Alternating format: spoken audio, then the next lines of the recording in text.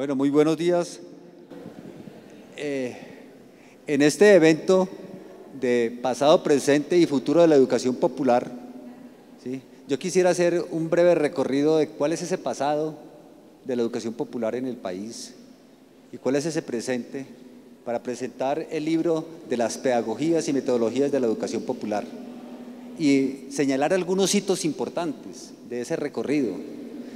Ese recorrido empieza a finales de los años 60, eh, de una manera más explícita, y aparece tanto en la producción y gestión del conocimiento de Pablo Freire, como también en la acción, porque se aprende haciendo, como dice la educación popular, aprender haciendo.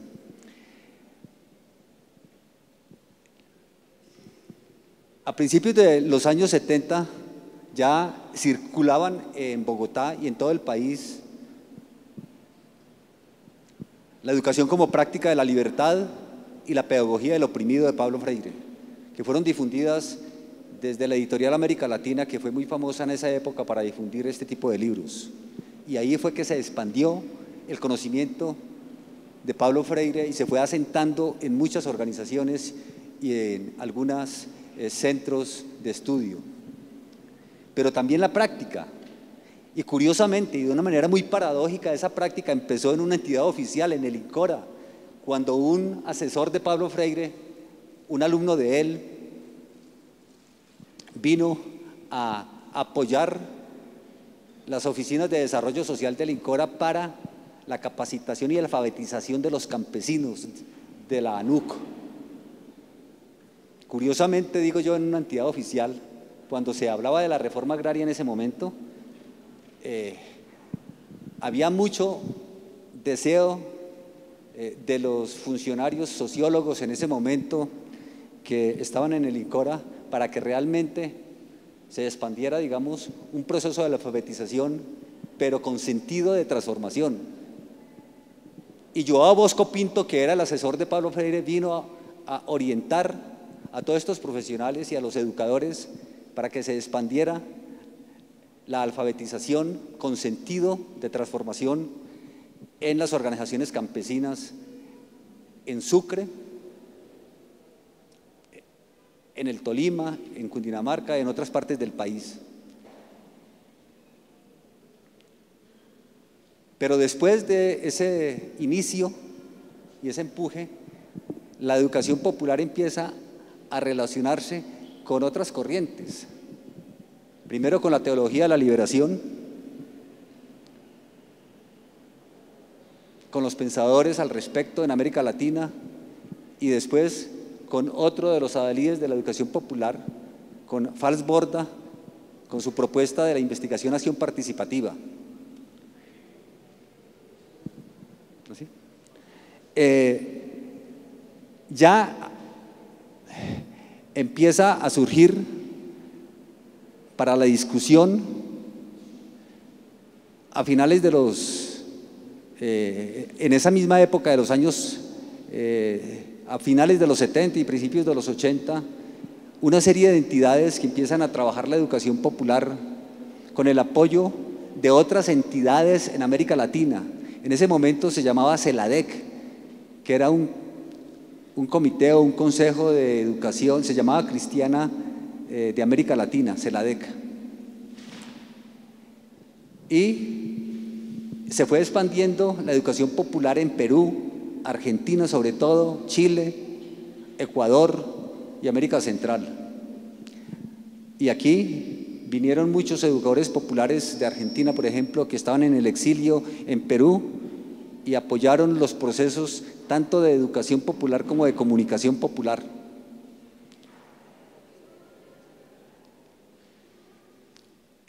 Ya a finales, eh, eh, a mediados de, de esa década de los 80 es cuando nace de una manera sólida el Consejo de Educación de Adultos de América Latina y del Caribe, fundada por Pablo Freire, con otros educadores populares de los diversos países y tiene su primer impulso en Chile, en Brasil y aquí con el apoyo de Fals Borda. y de otros educadores.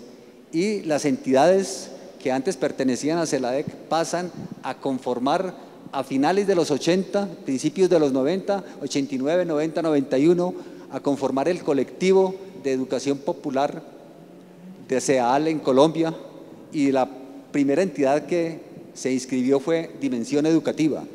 Después vinieron las otras entidades como el CINEP, como el IPC, como el Servicio Colombiano de Comunicación en ese momento, eh, como el CLEVA, como FUNCOP en Popayán, y poco a poco se fueron sumando algunas entidades para formar ese gran colectivo, para expandir la educación popular en el país. Y surge una red temática de educación popular de entidades de, que eran o no de SEAL, pero de Medellín y de Bogotá.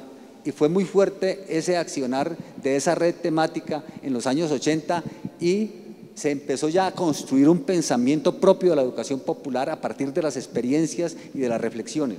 Y quisiera mencionar tres hitos, eh, de importancia en, ese, en esos años 90, que fue en el año 94 un gran seminario nacional sobre neoliberalismo, educación y desarrollo. Es decir, ¿qué, ¿cuál es la propuesta educativa del neoliberalismo y qué retos le implica a la educación popular enfrentar a ese, modelo de, de educación del neoliberalismo que solamente pensaba en el capital humano como, al, ser humano como capital para producir, pero se olvidaban todas las otras dimensiones del ser humano. ¿Cuál era la incidencia de esa propuesta neoliberal en el desarrollo social y todos los retos que planteaba la educación popular? Y ahí hay interesantes reflexiones al respecto desde, el punto de, y desde la mirada de la educación popular y de una crítica a esa apuesta nueva educativa neoliberal. En el año 96 ya se hace una reflexión de esta red temática de educación popular y, del colectivo del Consejo de Educación de Adultos, que en ese momento se llamaba de Educación de Adultos de América Latina y que actualmente se llama de Educación Popular de América Latina y el Caribe, SEAL, eh, para hacer eh, todo un debate nacional sobre la producción del conocimiento en la educación popular, los procesos de conocimiento en la educación popular, qué clase de conocimiento se ha producido en el contexto de las prácticas de educación popular, era una pregunta clave en ese seminario. ¿Cómo se ha hecho y qué impacto ha tenido en los sujetos de la educación popular? Eso fue sumamente importante que empieza a relanzar un poco más a expandir el pensamiento de la educación popular y en el año 98 se habla ya de las de una manera propia con la experiencia de la práctica de las metodologías de la educación popular, de la acción reflexiva y cultural de los educadores para la recreación de la educación popular, cuáles son las metodologías de la educación popular, sobre todo una, una propuesta desde el diálogo de saberes y desde la negociación cultural que en ese momento ya se empezaba a reflexionar de una manera más detallada.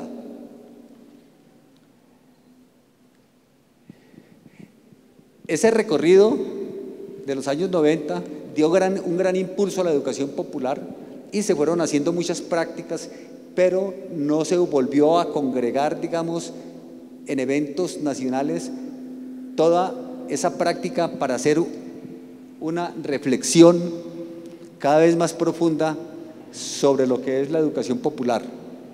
Entonces, eh, cada entidad empezó a producir, cada organización, cada grupo, a producir sus propios reflexiones y aparecen muchas publicaciones en torno a la educación popular de todas las entidades, una de ellas aportes que eh, la dirigió eh, y la puso eh, en el escenario dimensión educativa. Hubo otras especies de sistematización, como los materiales de trabajo del Servicio Colombiano de Comunicación, todos los libros eh, escritos en el CINEP, en otras entidades, en el IPC, pero se empieza de una manera cada uno por su lado, llamémoslo así. Pero ya, eh, a partir ya de de todo ese recorrido desde del año 2000 hasta el año 2010, ya en el año 2011 y 2012, nos volvimos como a reunir y a decir, es necesario que se haga una publicación a nivel nacional que recoja todo el pensamiento que en este momento más importante hay sobre educación popular. Y se hizo una compilación y una edición que nos echamos como una responsabilidad, Marco Raúl Mejía, Lola Sendales y el que les habla, y se produjo una primera publicación recogiendo reflexiones muy importantes sobre educación popular que denominamos los entretejidos de la educación popular en Colombia. En ese libro quisiera eh, mencionar las reflexiones sobre el proceso de la educación popular en Colombia en varias dimensiones. Una, la acción popular en eh, la, educación popular en la acción política de los movimientos sociales.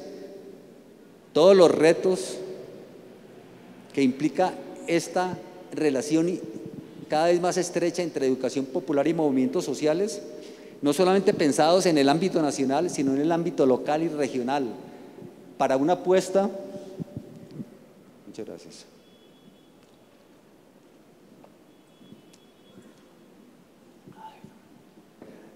Eh, para una apuesta eh, cada vez, eh, no solamente de transformación social, sino para democratizar la democracia, como nos dice el autor de esa reflexión, Diego Herrera, actual presidente del IPC.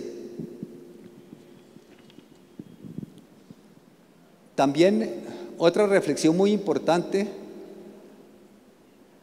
de un, de un educador popular que ayer estuvo acá hablándonos de Guiso, Alfredo Guiso, formar en investigación desde la educación popular,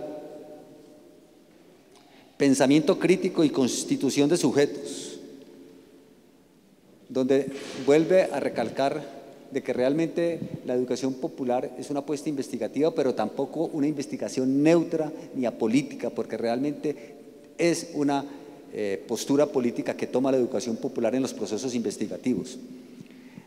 Está además de Alfonso Torres la sistematización de las prácticas y experiencias de educación popular, teniendo en cuenta que los participantes de las experiencias son sujetos de conocimiento. Y de ahí se parte para hacer las sistematizaciones de las prácticas de educación popular y cómo se hace una sistematización en educación popular. Luego hay una reflexión también muy importante de pedagogía y educación popular, que hace un recorrido el primer educador popular en América Latina, Simón Rodríguez, el maestro de Simón Bolívar, que tenía todo un enfoque de educación popular hasta Freire. Entonces hace un recorrido hasta Freire, una reflexión muy importante, donde afirma la importancia de la formación de subjetividades tanto individuales como colectivas en la educación popular.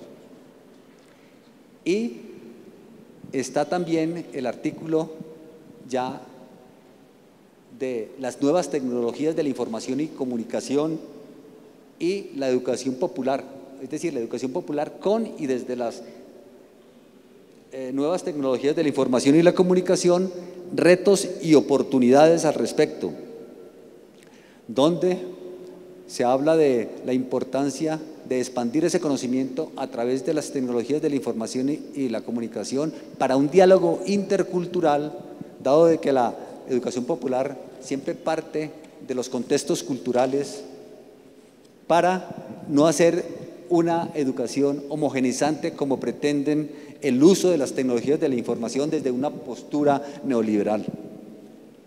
Y ese, ese eh, entretejidos de la educación popular en Colombia, esa publicación también recoge dos experiencias muy importantes que yo las quisiera subrayar.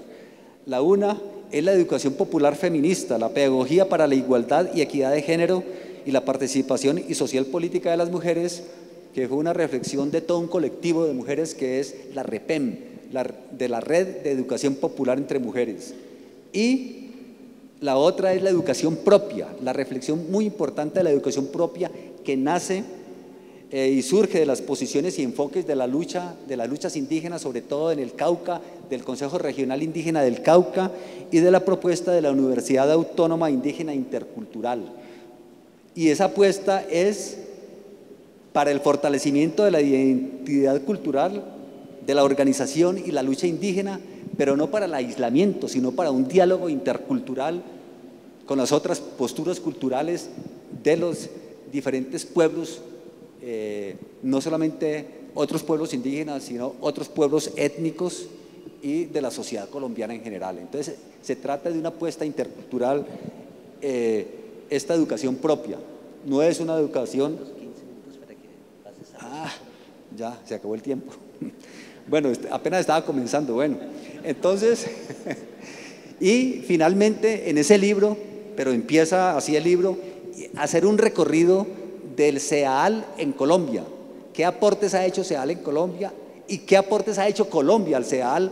Y, cuando decimos CEAL, pensamos es en los demás países de América Latina.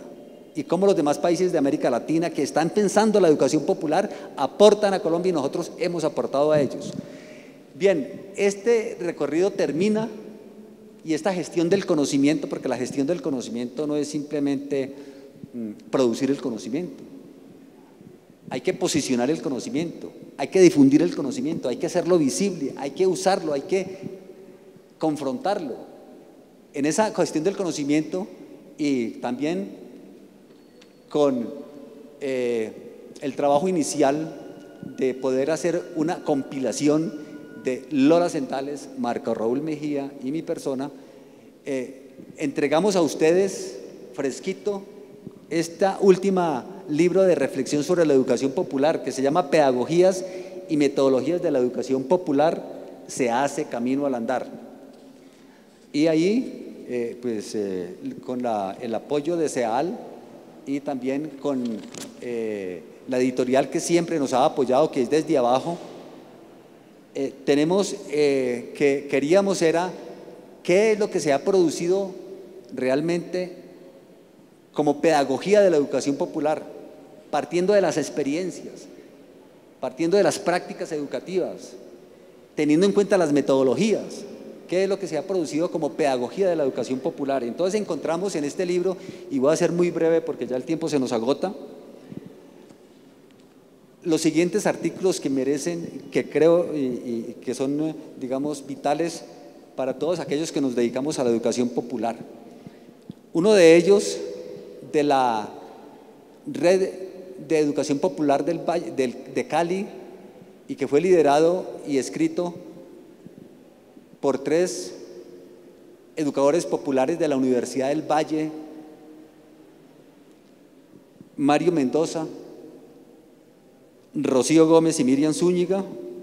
Y ayer le hicimos un homenaje especial a Mario Acevedo que hace tres días eh, nos dejó, que se llama Pedagogía Popular una construcción a partir del diálogo de saberes, la participación comunitaria y el empoderamiento de los sujetos sociales, donde ellos en el análisis distinguen tres conceptos importantes, diálogo de saberes, participación y empoderamiento. Un segundo artículo es reflexión pedagógica a propósito de una investigación participativa con sectores populares de Santiago Gómez, a partir de una experiencia del movimiento alimentario de Bosa, una organización popular urbana de Bogotá. Eh, otro, la educación para comunidades campesinas en resistencia, a partir de las experiencias de la Corporación Compromiso de Bucaramanga que trabaja en una escuela de formación para la exigibilidad de los derechos y defensa del territorio en zonas afectadas por la minería, en la zona del Magdalena Medio, y la escuela campesina de, de Piedecuesta en Santander. ¿Cuál es el modelo pedagógico que se gestiona en estas experiencias eh, de educación popular? Y hay otro también de resistencias que es tejer resistencias y conocimiento social desde la articulación de las experiencias locales de educación popular del suroriente de Bogotá, a partir de las experiencias de la Casa de la Cultura Popular para la Convivencia Pacífica que, eh, cuyo autor, Luis eh, Enrique Buitrago, estará ahorita entre los expositores del grupo colectivo que pasa a continuación ahorita. También hay tres artículos en perspectiva de género, no con la ideología de género que nos están hablando, no, con enfoque de género que es diferente, que eh, creo que valen la pena mencionar por su importancia. Uno, un trabajo con niños en perspectiva de equidad de género, que es de la Corporación Educativa Combus, buscando la equidad de género entre cartas, árboles y duendes, experiencia con población infantil de la calle en Medellín. Esta es una grandísima experiencia que vale la pena que ustedes la lean con detenimiento para que encuentren allí cómo se hace ese trabajo desde la imaginación, desde la narrativa, desde el cuento, desde la lúdica. Luego está la pedagogía y metodología de la educación popular en perspectiva de género, las experiencias de las redes, confluencias, organizaciones de mujeres que adelanta las lideresas apoyadas por el Servicio Colombiano de Desarrollo Social CERCOLDES, donde el enfoque fundamental es entender el género no como un concepto abstracto como un ente metafísico, sino como un conjunto de relaciones y como un sistema, un sistema de denominaciones, un sistema de relaciones de poder, un sistema de intercambios entre los géneros, un sistema eh, de pautas de conducta. Y entonces, eh, para ir develando realmente que existen enfoques inequitativos de género en las entidades públicas, por ejemplo. Se muestra claramente que en el Instituto Colombiano de Bienestar Familiar durante mucho tiempo subsistió un enfoque de género totalmente inequitativo. Pero cómo las mujeres tienen que ir construyendo ¿sí?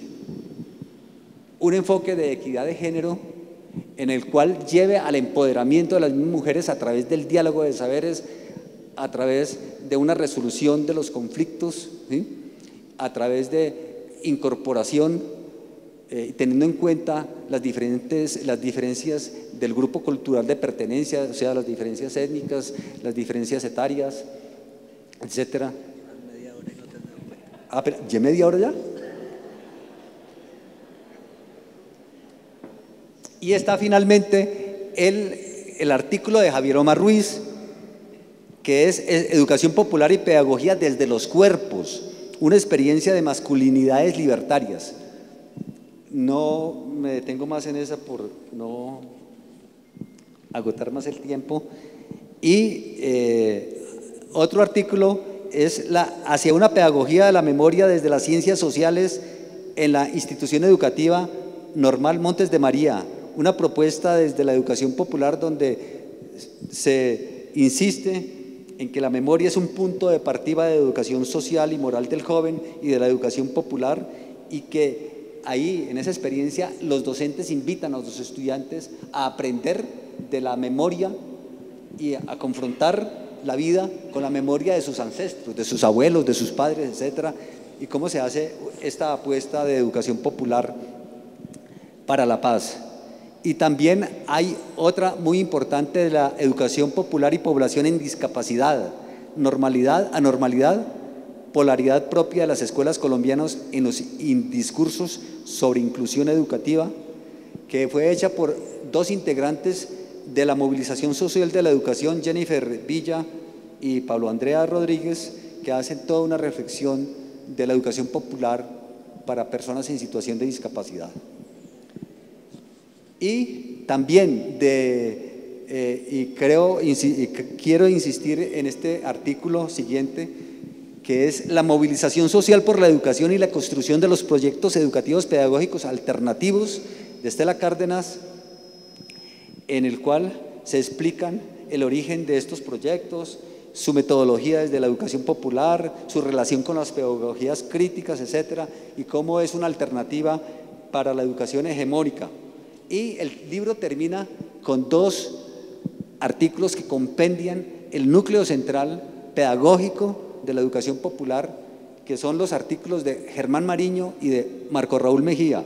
El del Germán Mariño es el diálogo en la educación popular entre idealizaciones y prácticas concretas, donde él hace una crítica a muchos diálogos que se dicen que son de saberes, pero que son diálogos antidialógicos, como el dirigismo iluminativo, como eh, eh, ciertas propuestas que vienen de la pedagogía constructivista, como que él lo llama diálogo como erradicación, diálogos incompletos, para ir formulando unas perspectivas de un diálogo y un diálogo como recuperación y complementación. Y el diálogo y confrontación de saberes y negociación cultural, ejes para las pedagogías de la educación popular, una construcción desde el sur de Marco Raúl Mejía, que cierra este libro, donde también hace un recuento pedagógico desde Simón Rodríguez, pasando por las escuelas eh, eh, de, de, Elizardo Pérez de, allá de Bolivia, por el fundador de Escuela y Alegría, para terminar luego ya hacer un análisis mucho más concreto y definido sobre las, el diálogo de saberes eh, y las pedagogías de la educación popular que es necesario que desarrolle a las capacidades del hombre como un ser integral, no solamente la capacidad cognitiva, sino las capacidades valorativas, afectivas, imaginativas, del deseo, lúdicas y trascendentes, etc. Entonces, como se pueden ustedes dar cuenta, y con todo el tiempo que me extendí, me tienen que disculpar, lo que pasa es que es mucho y en tan poquito tiempo para explicar un poco el recorrido del pasado, del presente y lo que se avisora en el futuro de la educación popular. Entonces los invito a que ustedes puedan no solamente a leer estos eh, acumulados que hay y este libro, sino también a que hagan su propia gestión del conocimiento y en el futuro tendremos entre ustedes una exposición no tan larga de sus reflexiones y de sus propios conocimientos. Muchas gracias. Gracias, Jairo. Entonces, eh, allí en, la esquina de allí, los compañeros de Desde Abajo tienen los dos libros a los que hizo mención Jairo y otras publicaciones también ligadas a este pensar y actuar desde el sur y desde abajo. Eh, especialmente la colección Primeros Pasos que ha coordinado Marco Raúl Vejía y que eh, contiene una serie de libros sobre muchos de los temas hoy claves entre quienes hacemos trabajo comunitario, educación popular.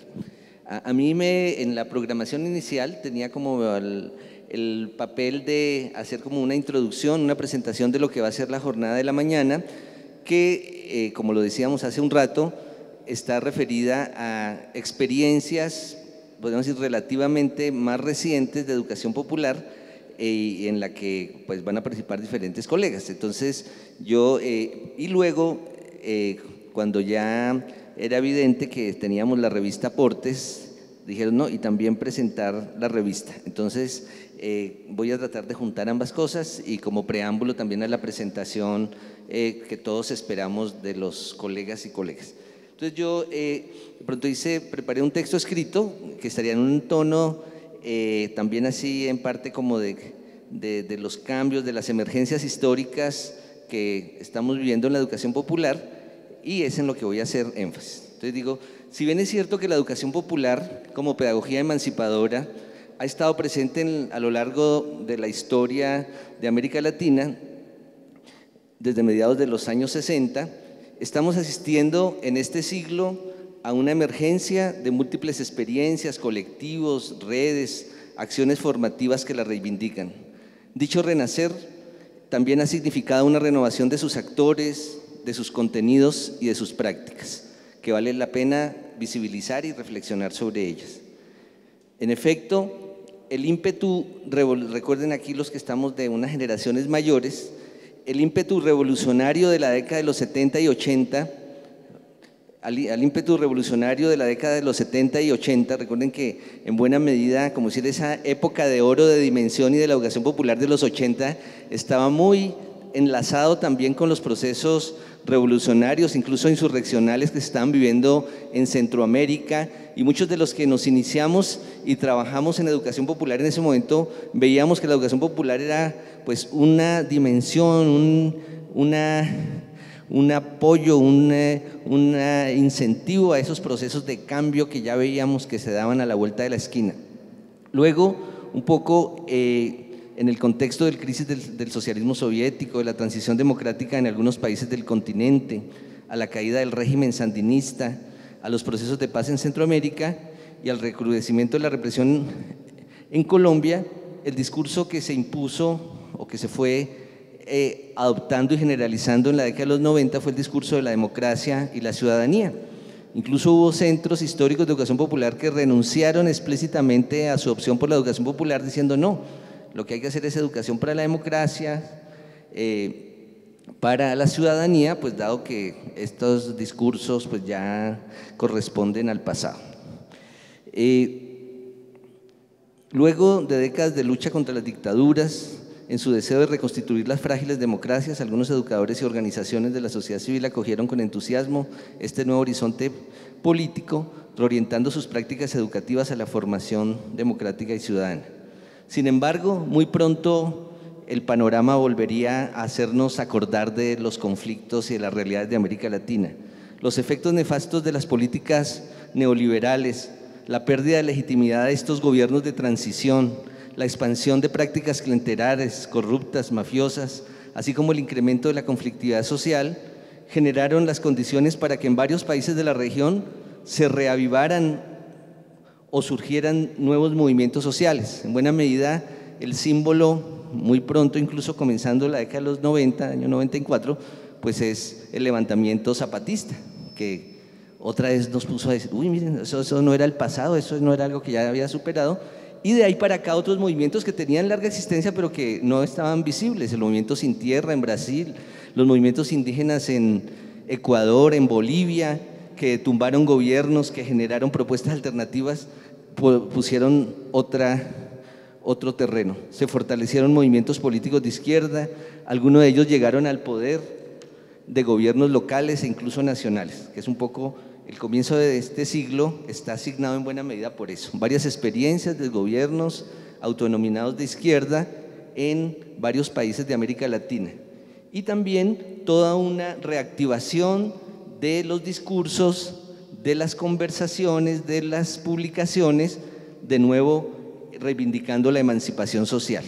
Entonces ya las nuevas generaciones empiezan a encontrarse, a leer a Boaventura de Sousa Santos, a Sibeki, a una serie de autores que otra vez vuelven a decir, miren, ahí no se olviden que todavía hay que cambiar este mundo. Entonces yo digo, de la mano de este renacer de las luchas sociales, así como de las indignaciones, anhelos, esperanzas y utopías que expresan, la educación popular ha vuelto a ser un sentido y un motivo para muchas personas y colectivos que ven en ella un referente político y pedagógico para orientar sus prácticas. Este renacer de la educación popular se evidencia en la proliferación de colectivos, encuentros, jornadas de reflexión como estos, que se vienen realizando en diferentes países del continente.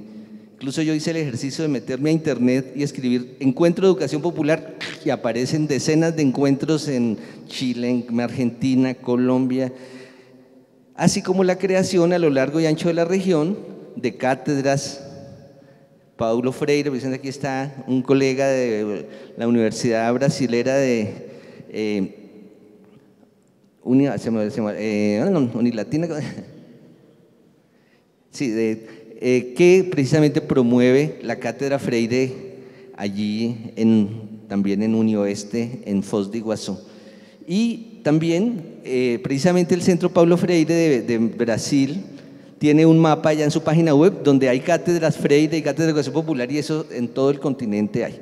Entonces lo que estamos asistiendo es a un renacer de la educación popular, pero como todo renacer, como todo nacimiento, es portador también de cosas nuevas. No es la vuelta de nosotros los dinosaurios tal cual éramos, sino que eh, quienes hemos seguido en esta lucha, en esta, pero especialmente quienes se han sumado a esta experiencia, a este proyecto de educación popular, pues han sido portadores también de refrescantes ideas, proyectos nuevos, que son los que voy a tratar de señalar.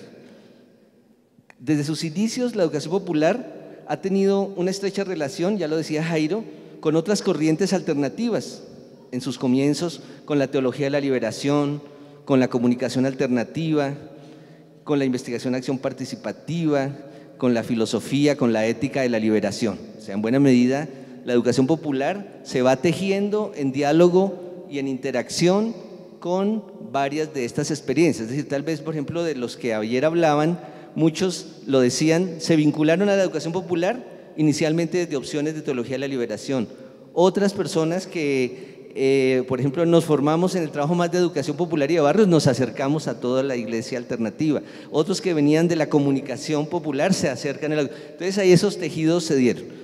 Pero en en la actualidad, la educación popular se articula también con otras prácticas, movimientos y pensamientos alternativos como la economía solidaria, las nuevas prácticas de las iglesias comprometidas, el ambientalismo popular, los feminismos populares y comunitarios, el trabajo artístico y cultural, así como el diálogo con perspectivas emergentes como los discursos interculturales y decoloniales. En su comienzo, la educación popular orientó sus acciones especialmente en el campo de la alfabetización y la educación de jóvenes y adultos. Ve que casi todos los que eh, contaron experiencias ayer tuvieron en algún momento algún trabajo ligado a eso. Pero muy pronto se amplió a la formación de dirigentes sociales, campesinos, populares, actores locales, al trabajo en derechos humanos.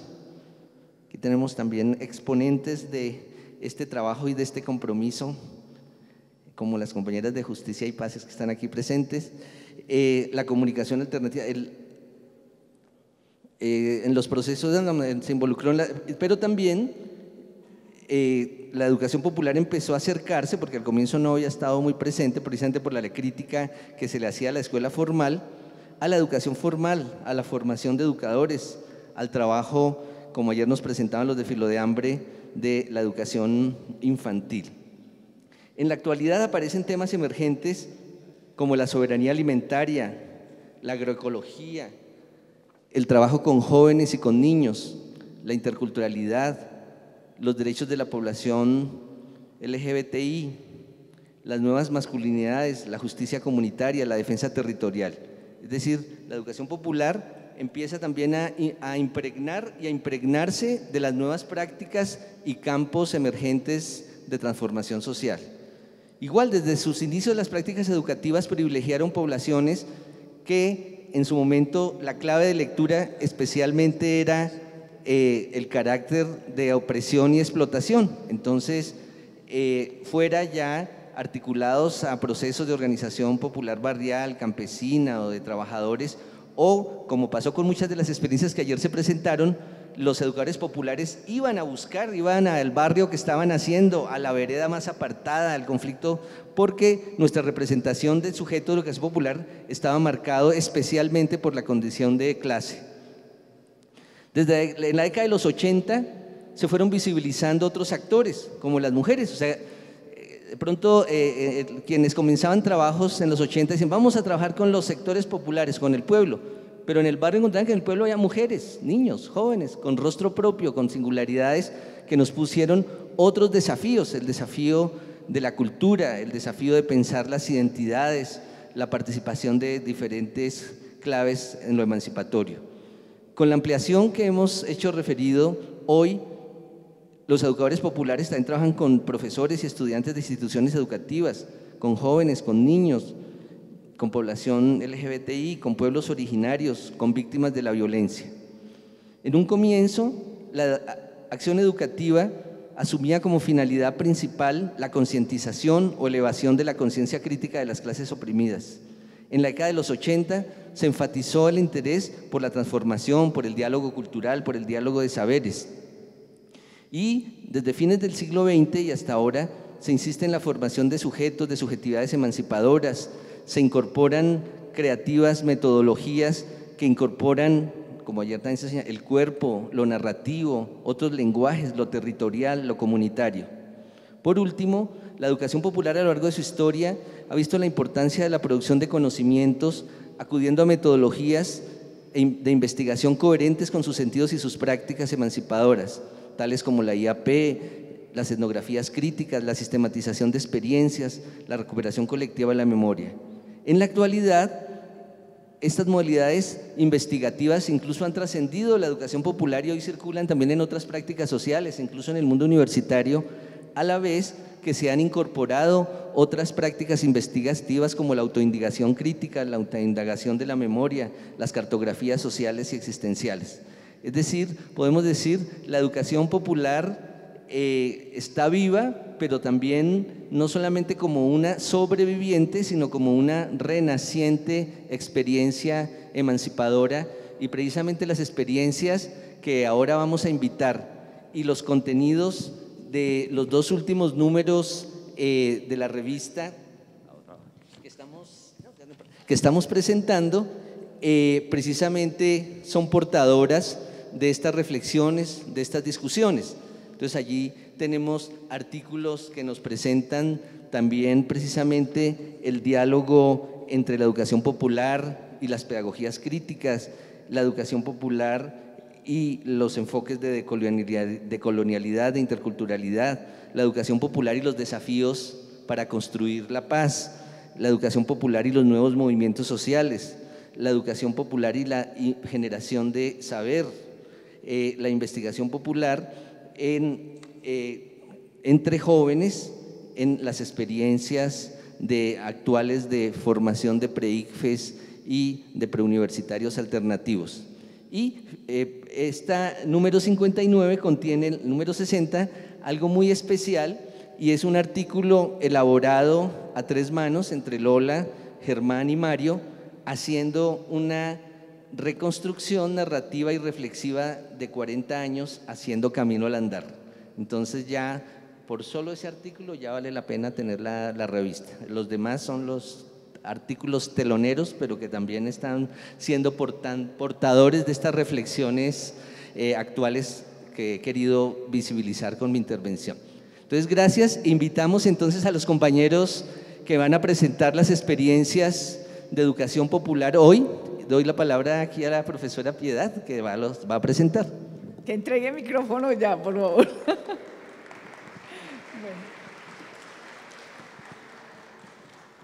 Eh, muy buenos días. Entonces, convocamos a las diferentes experiencias que nos van a acompañar en este panel. Nos va a hacer una reflexión de lo escuchado el profesor Santiago Gómez de la Universidad Nacional y también un, un militante de la educación popular colombiana. Recordar que estamos celebrando la existencia de dimensión educativa, que este es un homenaje que hoy entregamos desde ayer a Lola Sendales, a Germán Mariño, a Jairo Muñoz, a Mario Perezón, a Marco Raúl Mejía, a Alfonso Torres, a Jorge Posada, a Mario Acevedo, que hoy no está, y a todos nosotros, educadores populares, del Valle, del Cauca, de Medellín, de Nariño, de Bogotá. Este es un encuentro para abrazar la educación popular colombiana, para reafirmar el sentido político hoy de la educación popular, porque necesitamos revitalizarla.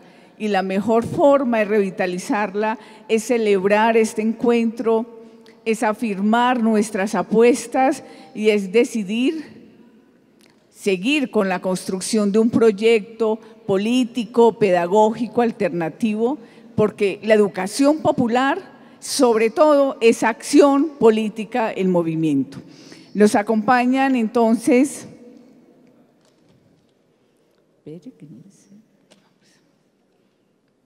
Bueno, están entonces acá, ¿dónde está? Ah, ah, se sentaron todos los del Cauca, ¿cierto? No, hay distintos. Franci Molina, ¿dónde está Franci? Ah, bueno, entonces vamos, eh, están los colegas de la Red de Educación Popular del Cauca, eh, Robert Euskategui, Estela Pino y Freddy Piso. Ellos son de la Red de Educación Popular del Cauca. Eh, ya viene Franci Molina de la Red de Educación Popular de Cali. está Luis Enrique Huitrago de la Escuela Popular de Artes y Oficios EPAO, Liliana, Diana Gómez también de la Escuela Popular de Artes y Oficios, eh, llamamos a la coordinadora de educación popular,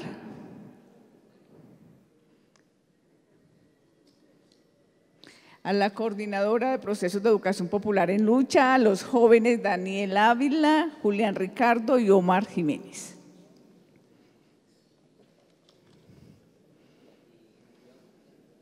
Sí, también está la corporación Convivamos Alexandra Osa. ¿Ya, viene? Ah, bueno, ya viene en camino. Bueno, entonces, aquí tenemos a los compañeros y compañeras. Cada experiencia se va a presentar 15 minutos en términos de sus procesos, de sus apuestas, de sus trayectorias. Vamos a iniciar con los compañeros del Cauca. Eh, buenos días. En nombre del colectivo de educadores y educadoras populares del Cauca, del Grupo de Educación Popular de la Universidad del Cauca, de ASOINCA, la Asociación de Institutores del Cauca, que pues envía un fuerte saludo, no nos puede acompañar, porque están precisamente en estos momentos en una movilización eh, regional en defensa de los derechos, de los derechos de la salud y la educación. Eh, felicitar eh, a los organizadores por este espacio, este espacio tan importante para hablar de lo que ha sido la educación popular, de lo que está haciendo la educación popular y como de las perspectivas que se tiene en la educación eh, popular. se habla de la presentación de experiencias inscritas en procesos y prácticas educativas populares actuales pues aquí con, los muchachos de allá nosotros nos vemos como, como fuera de, como mayorcitos, ¿no? Nosotros tenemos, a pesar de eh, que son experiencias eh, actuales en cuanto a la conformación del colectivo de educadores populares que lleva menos de, una década, como integrantes de ese colectivo llevamos más de 30 años en ese proceso de pensar la educación, eh, de pensar toda la transformación social desde la educación popular. Como Grupo de Educación Popular de la Universidad del Cauca, precisamente este año estamos cumpliendo 30 años de conformación institucional eh, como grupo, pero que desde hace muchos más años eh, venimos adelantando este proceso pensado desde la educación popular. De hecho, aquí nos acompañan dos de los fundadores, de los creadores, de los gestores del Grupo de Educación Popular, el profesor eh, Luis Hernando Rincón y el profesor eh, Freddy Hernán Piso, quienes eh, se pensaron cuando nosotros éramos estudiantes de, de la Universidad del Cauca, se pensaron ese espacio, ese grupo como espacio de, reflexión. igualmente, en esa unión de esfuerzos con la SOINCA es un proceso que lleva más de 30 años también y que en los últimos siete años ha repensado su papel eh, no únicamente como movimiento sindical que busca la reivindicación únicamente económica, sino que se ha pensado desde la posibilidad de construir en ese movimiento fuerte que hay en el, en el Cauca una educación eh, popular, una educación eh, para la región pensada desde los principios de la educación popular.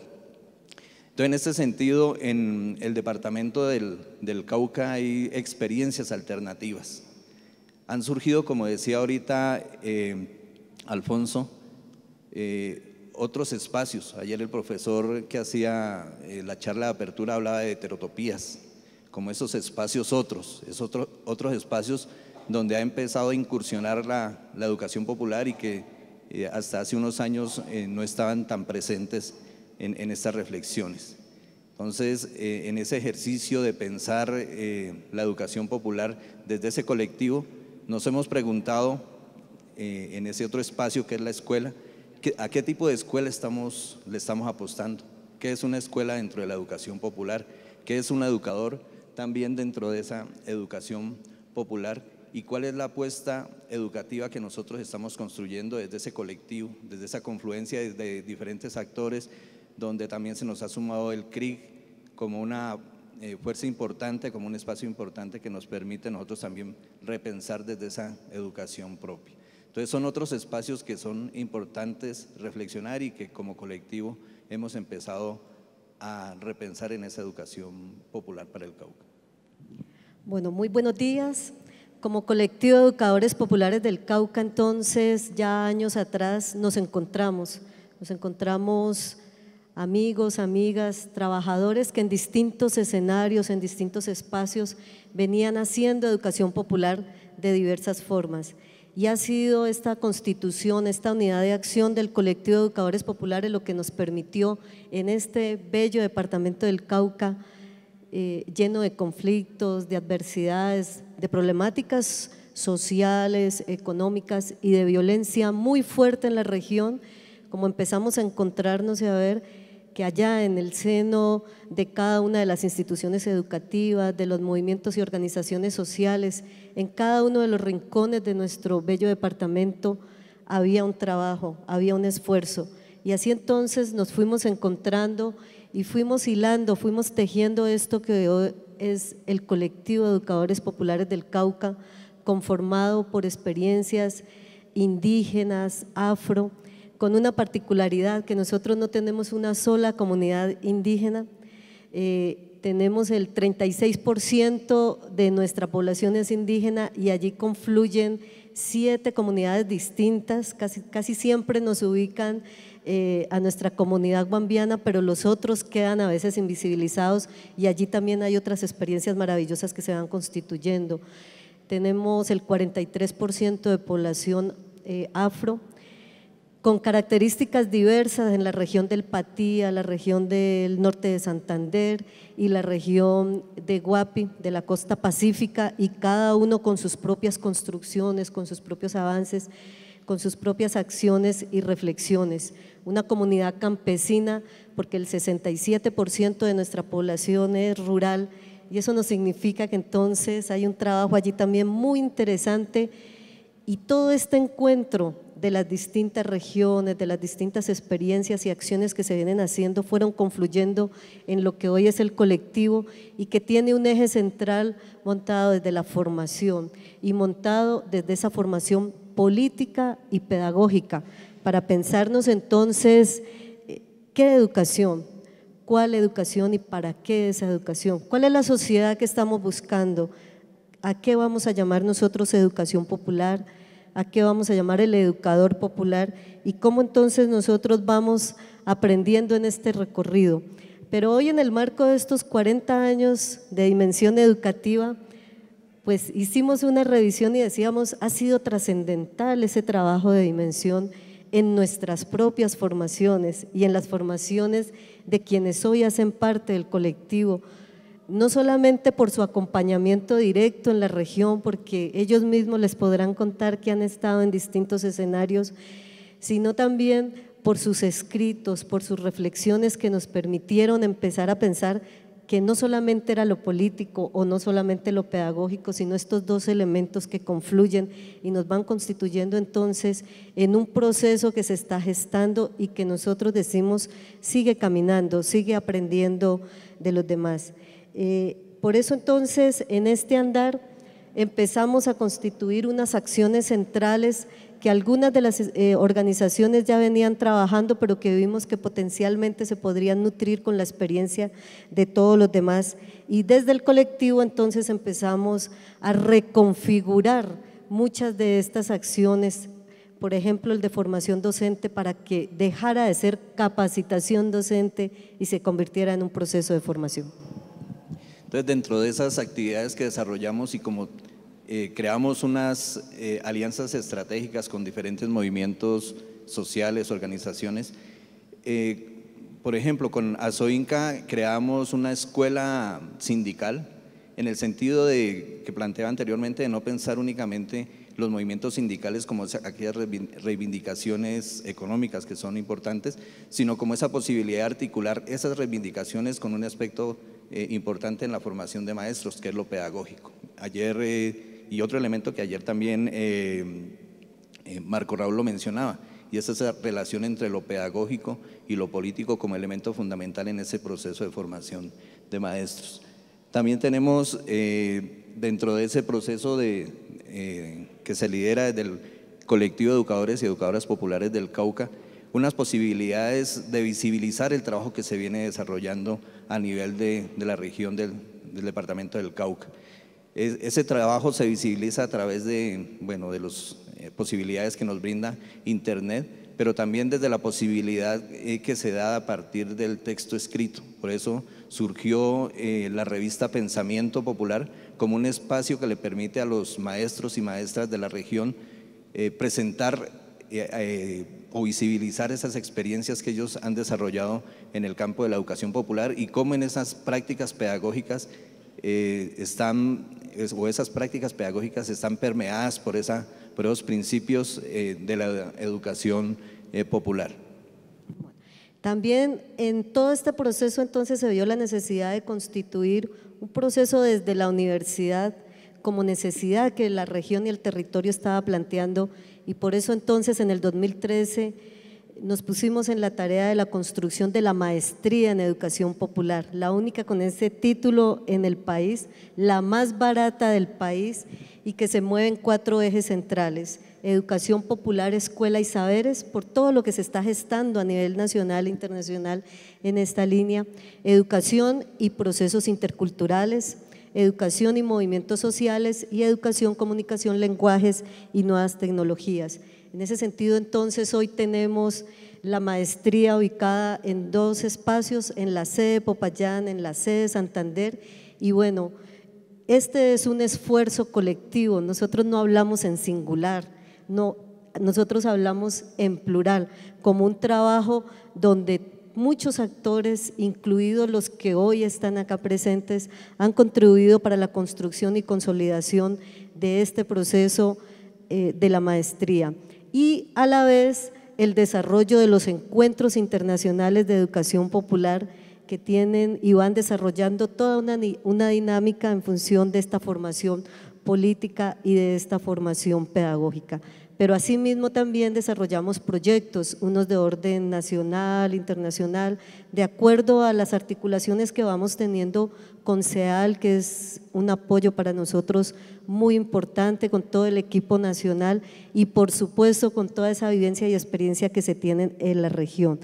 Pero allí entonces el trabajo no solamente es con adultos, no solamente es con educadores y educadoras de la región, sino que también se empieza a gestar todo un trabajo muy fuerte con jóvenes y con niños. Muy buenos días. Mi nombre es Freddy Piso, yo soy uno de los fundadores del Grupo de Educación Popular de la Universidad del Cauca, en la cual hemos venido trabajando durante más de estos 40 años desarrollando actividades. Obviamente, una de, los, de las problemáticas más grandes que tuvimos, porque hicimos lo mismo que hemos contado aquí, el proceso de alfabetización, articulados, trabajos comunitarios con comunidades, con las diferentes comunidades en el departamento, nos vimos en la necesidad también de que uno de los factores fundamentales que teníamos que desarrollar, sobre todo en, regiones como la nuestra, como el departamento del Cauca, ya Estelita lo decía, obviamente era cómo podemos realmente tener una verdadera formación de maestros, en el sentido que esa formación de los maestros tenía que comenzar a dimensionar todo el trabajo de cambio de esas estructuras en las cuales de una u otra manera puedan desarrollarse. Y fue así como desarrollamos toda una propuesta en el campo investigativo. Y obviamente desde que comenzamos a trabajar nos articulamos no solamente con los proyectos propios de nuestras comunidades, en el caso de nuestros compañeros indígenas, en el caso de nuestros compañeros afros, en el caso de todos los movimientos que surgían alrededor del Cauca, sino también en el campo de los maestros. Y fue así como hicimos y participamos en unos proyectos que eran de carácter nacional, como fue la escuela como proyecto cultural, en donde desarrollamos todas unas actividades para saber qué era lo que realmente estábamos haciendo los maestros. Y nos dimos cuenta que hacíamos muchas cosas, pero que nadie las conocía.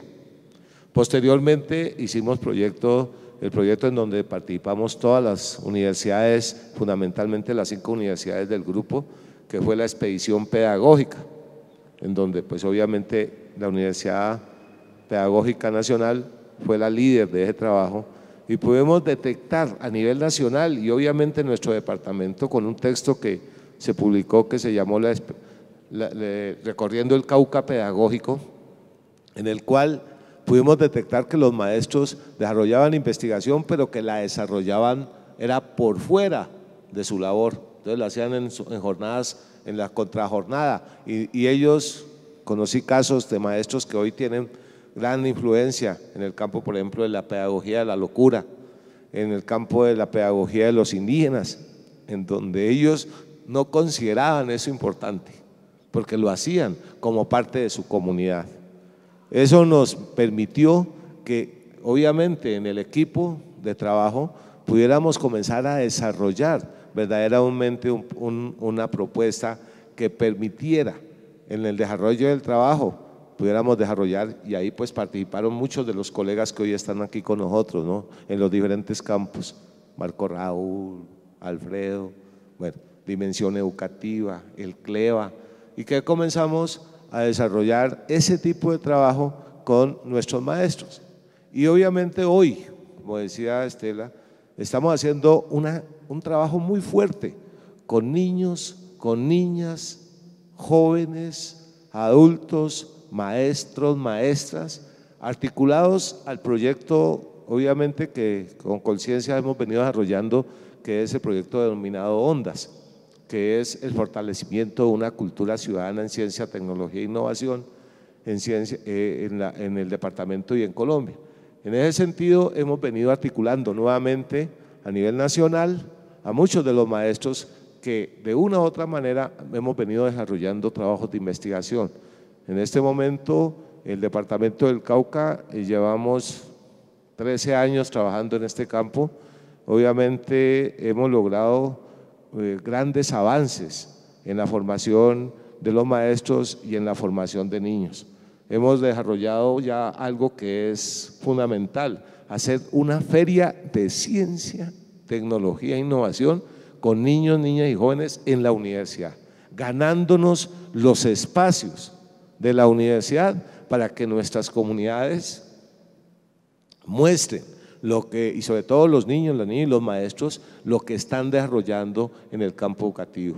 En este momento, pues ahí estamos haciendo algunas publicaciones que eh, no todavía no las tenemos a nivel nacional, pero que obviamente más adelante podemos desarrollarla en ese campo. Entonces, ese trabajo es un trabajo fundamental en, en lo que venimos desarrollando. Le agradezco. Bueno, eh, hablábamos de la posibilidad de visibilizar el, eh, el trabajo que vienen desarrollando maestros, maestras eh, de la región y cómo eh, la revista Pensamiento Popular se convirtió en ese espacio de, compartir con los demás y hacer entender que es posible pensar la educación popular también en otro espacio, en el espacio de la escuela. Entonces vamos a dejar aquí a, los organizadores, a la maestra Lola, este, estas dos, dos números que van de la revista eh, Pensamiento Popular. Lo otro es eh, reiterar algo que, o no, plantear algo que se le olvidó a Jairo y que cuando salió dijo, ah, se me olvidó. Y es cuando hablábamos de esos otros espacios que ha empezado a permear la educación popular, eh, hay un reto desde CEAL y también se planteó en el Foro Mundial Social, es escribir sobre esa relación escuela, universidad y educación popular. Ya Estela planteaba cómo en, la Universidad del Cauca ya hay una maestría en educación popular, ya en los programas de licenciatura de, la Universidad del Cauca, particularmente la facultad, eh, se logró incorporar dentro de eh, las, estructuras curriculares esa reflexión en torno a la educación popular como una unidad temática dentro, dentro de la estructura curricular. Entonces es, importante plantear, y aquí en la Universidad Pedagógica Nacional con la licenciatura, es plantear en, un libro, en un texto, esas otras posibilidades de hacer educación popular dentro de la escuela y dentro de lo que es la formación de, educadores. Bueno, la revista también está en la, en la web, la pueden consultar ahí. Bueno, muchas gracias a, a todos por escucharnos.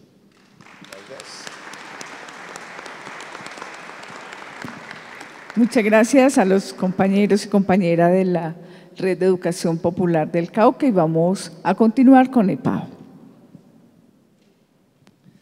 Muchas gracias, muy buenos días compañeros, compañeras, muy felices de estar acá, de esta aceptación que tiene el tema de la educación popular, muy agradecidos por este reconocimiento que tienen con la experiencia a partir de este espacio. un saludo muy especial a los compañeros y compañeras de Dimensión Educativa, a los compañeros y compañeras que vienen de otras regiones. Es muy diciente el compromiso con la educación popular. Rápidamente y en 15 minutos vamos a tratar de exponer eh, lo que ha significado la experiencia del EPAO sobre tres experiencias fundamentales. Eh, Multirred Alimentaria de Bosa, Organizaciones Sociales del Suroriente, Sistema de Responsabilidad Penal Adolescente, que lo va a hacer Eduard, y Diplomado en Derechos Humanos, eh, Jaime Garzón, que lo va a hacer Diana. La EPAO nace hacia, ay bueno, y luego un videíto si alcanzamos, que no dura sino 45 minutos, entonces a ver si lo podemos poner. Dura dos minuticos, a ver si lo podemos poner, vamos a ver si podemos hacer todo eso. Entonces, rápidamente, mm, la EPAO nace hacia el año 2002, con un grupo de compañeros y compañeras de la Universidad Nacional de Colombia y de la Universidad Distrital Francisco José de Caldas, interesados en estos temas de la educación, en estos temas de la, en estos temas de la, de cómo empezar a ver la educación de una manera diferente. Sin lugar a dudas, esa es del siguiente, bueno, sin lugar a dudas, eh, pues esa, esa potencia irradiadora de lo que era el postulado freiriano de entender la educación con una naturaleza política. Ay, gracias. Tan chévere la tecnología. Yo, pero ¿dónde está la pantalla? Entonces, con ese postulado, esa potencia de lo que significa la naturaleza política de la educación y la necesidad de pedagogizar la política, nos reunimos un combo de gente y empezamos a plantear alternativas educativas y formativas. Rápidamente, entonces pasamos a una experiencia, estuvimos en la Multired Alimentaria de Bosa, una organización en Bosa que nace a partir de la política pública de seguridad alimentaria. Es decir, entendimos la política pública también como un espacio de disputa, como un espacio de construcción, como un espacio de participación y como con una necesaria politización. En este caso, el hecho alimentario, entender la seguridad alimentaria más allá, hacia la soberanía alimentaria, incluso la autonomía alimentaria. Y entender que el alimento es algo más allá, va mucho más allá de lo que simplemente entra por nuestra boca. Que a partir de ahí hay una cantidad de conocimientos, de saberes, que la idea era poder empezar a socializar y trabajar con la gente. Nos reunimos en un espacio que se llamaba la Multired Alimentaria de Bosa y eh, pasa a ser organización de segundo nivel, colectivo juvenil Sopa y Seco, los chicos con una identidad alrededor del tema alimentario. Y básicamente, ah, y otra cosa que es fundamental, es que también es una propuesta de tipo autogestionario.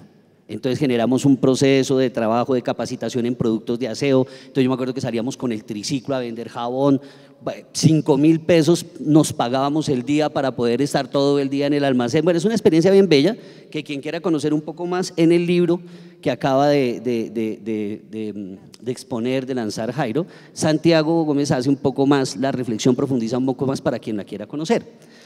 Esa es una de, las experiencias. Otra sobre la que queremos hablar, que ahí sí eso está un poco más referenciado en la pantalla, es, la, el proceso de articulación de organizaciones sociales del suroriente nos encontramos varias organizaciones, estamos hablando de 12 a 14 organizaciones, nombro así rápidamente, está Fundación Creciendo Unidos, Pepaso, está Besol, está ITUE, está eh, Circonciencia, bueno, una cantidad de organizaciones sociales que empezamos a organizarnos desde el sur como una forma de empezar a movilizar desde para el primero de mayo.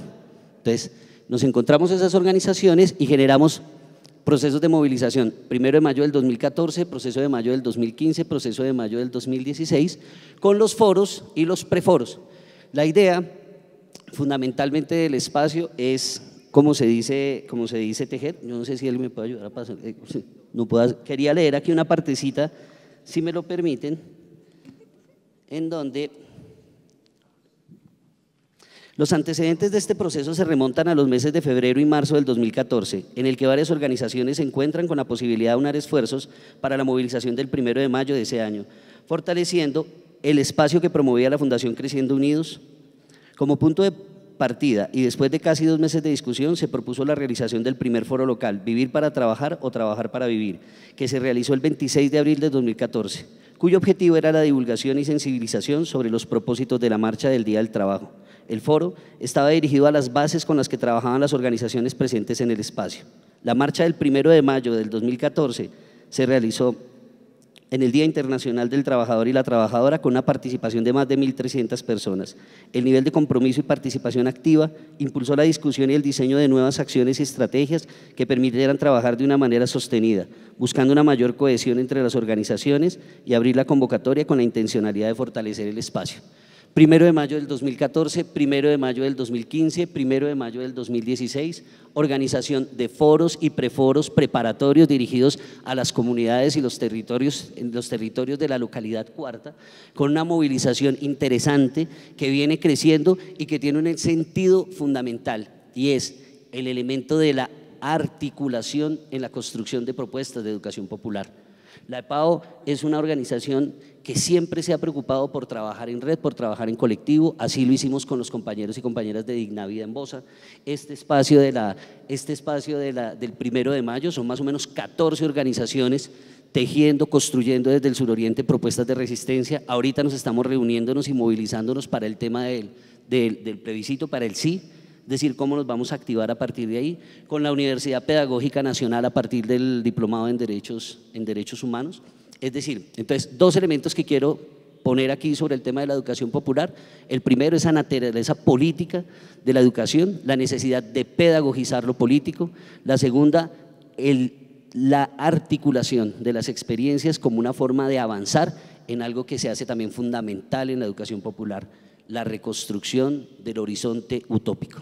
Basta encontrarnos como en este espacio, basta encontrarnos todos acá y saber que no somos pocos, que somos muchos y que estamos que vienen de otras regiones, para entender que desde la articulación construimos sentido. Y esa construcción de sentido es lo que ayuda a la reconstrucción de, ese, de este horizonte utópico que tanto, tanto necesitamos en este momento. Entonces va Eduardo. Eh, bueno, muy buenos días a todas y todos. Mi nombre es Eduard. Hago parte de la Fundación EPAO desde hace ya unos cuantos añitos. Eh, feliz, muy feliz de estar en este espacio, de poder eh, sentirme identificado como educador popular, eh, alguien que viene de una lógica de repente eh, educativa totalmente diferente. Entonces, yo les voy a contar sobre una de las experiencias que en, los, en el último año, desde la Fundación EPAO, hemos estado llevando a cabo y es con uno de esos sectores de la población que a los educadores y educadoras populares nos convoca, que son esos sectores tan excluidos. En este caso es los y las adolescentes en conflicto con la ley y más concretamente los y las adolescentes en contextos de privación de libertad, en los que en esos espacios en los que hacer educación, en los que hacer cualquier llevar a cabo cualquier propuesta pedagógica eh, parece casi una quimera. Eh, a nosotros nos convocan y la propuesta desde el principio eh, de la EPAO es hacer una construcción conjuntamente con estos y estas adolescentes, porque para nosotros y nosotras lo que es esencial es que ellos y ellas estén representados en cualquier acción eh, que se haga. Y más concretamente, nuestra propuesta se basa en activar dispositivos de capacidad resiliente y de desarrollo personal a través de propuestas culturales, artísticas, deportivas, pero más concretamente aquellas propuestas culturales, artísticas y deportivas que los y las adolescentes identifican como propios y que por desgracia la mayoría de la mayor parte de la sociedad y de la comunidad identifica como, como unas prácticas que deberían ser eh, apartadas. Así que nuestra propuesta consiste en que sean ellos y ellas los que a través de un ejercicio de dignificar y de significar sus prácticas habituales puedan sentirse identificados en ese ejercicio pedagógico de construcción de construcción de la subjetividad que es tan necesaria y más en estos contextos de privación de libertad.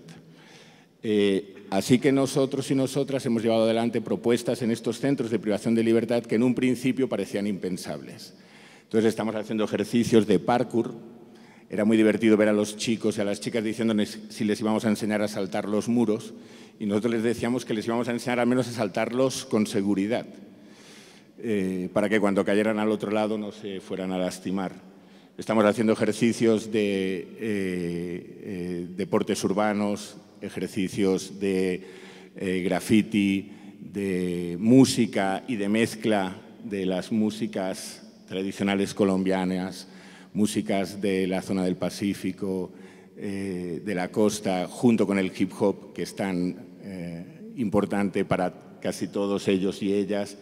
Estamos haciendo ejercicios de cine animado en, los que pueden expresar qué es lo que sienten, cómo se sienten, cómo se ven y cómo les gustaría que todos y todas los viéramos y las viéramos. Eh, en fin, tenemos muchos ejercicios. Creo que al final de todo podrán ver, ah, se están viendo algunas cosas, creo, eh, pero al final de todo podrán ver un video y les recomiendo que escuchen muy atentamente la letra. Es una letra hecha por ellos, por los chicos en estos contextos de privación de libertad. Es un rap entonces, eh, de alguna manera, lo que estamos intentando es, y nosotros nos planteábamos como EPAU, cuál era nuestro ejercicio en un espacio en el que en principio podía parecer que éramos invitados e invitadas únicamente para entretener a unos adolescentes que tradicionalmente consideramos peligrosos, ¿por qué no decirlo con esa palabra? Entonces, cuando hablamos de sitios como el Redentor, y donde habitualmente lo que vemos en los medios de comunicación es lo que sucede eh, en los días en los que hay disturbios y no todo el resto de días en los que hay un montón de chicos y de chicas intentando eh, hacer un ejercicio de encontrarse a sí mismos dentro de esos eh, espacios de privación de libertad largos. Entonces, para nosotros, como les digo, lo que nos, planteábamos es que esos sujetos, esos adolescentes que nosotros pretendíamos eh, acompañar en la construcción de ellos y de ellas mismas, debían ser adolescentes críticos, críticos con la realidad que los había llevado a esos contextos, críticos con el contexto que están viviendo en este momento. Ahora mismo tenemos mil y tantos adolescentes en privación de libertad en esta ciudad. Eso es algo terrible nos debería, nos debería golpear duramente. Mil y tantos adolescentes que están encerrados eh, y que tienen 16, 17 años y que les quedan 3, 4, 5 años en ese contexto de privación de libertad. Entonces, ¿qué adolescentes queremos? Pues sí, nosotros queremos adolescentes críticos, adolescentes que cuando salgan, pero antes de salir, mientras estén allá, puedan poner una, y plantear propuestas de ruptura con aquellas realidades que los han llevado a esos contextos. Eh, como les digo, al final de todo, les, eh, recomiendo que, puedan, que presten mucha atención a, ese, a uno de los muchos ejercicios que hemos hecho con estos chicos y chicas para que escuchen qué es lo que ellos han hecho. Bueno, ahora con el diplomado, pero es que hay un videíto que va de fondo también del diplomado para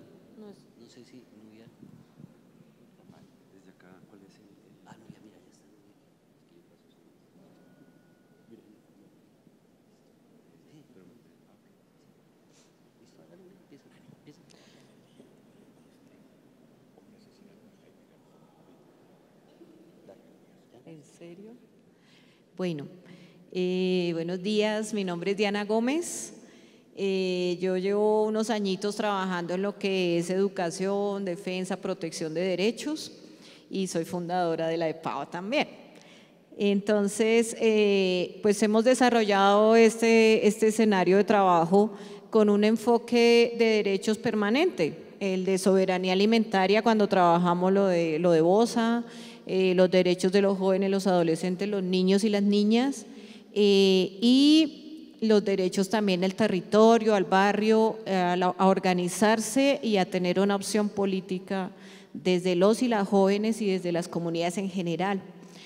En ese contexto, nosotros pensamos, bueno, nos acordamos que casi todos y todas hemos sido parte o fuimos formados en escuelas y procesos de formación que duraban, bueno, una semana, habían, pues, ¿cierto? Al estilo de, de, los compañeros de la Teología de la Liberación, concentrados en una semana, concentrados 15 días. Eh, después, bueno, escuelas más largas de alfabetización de adultos y derechos humanos.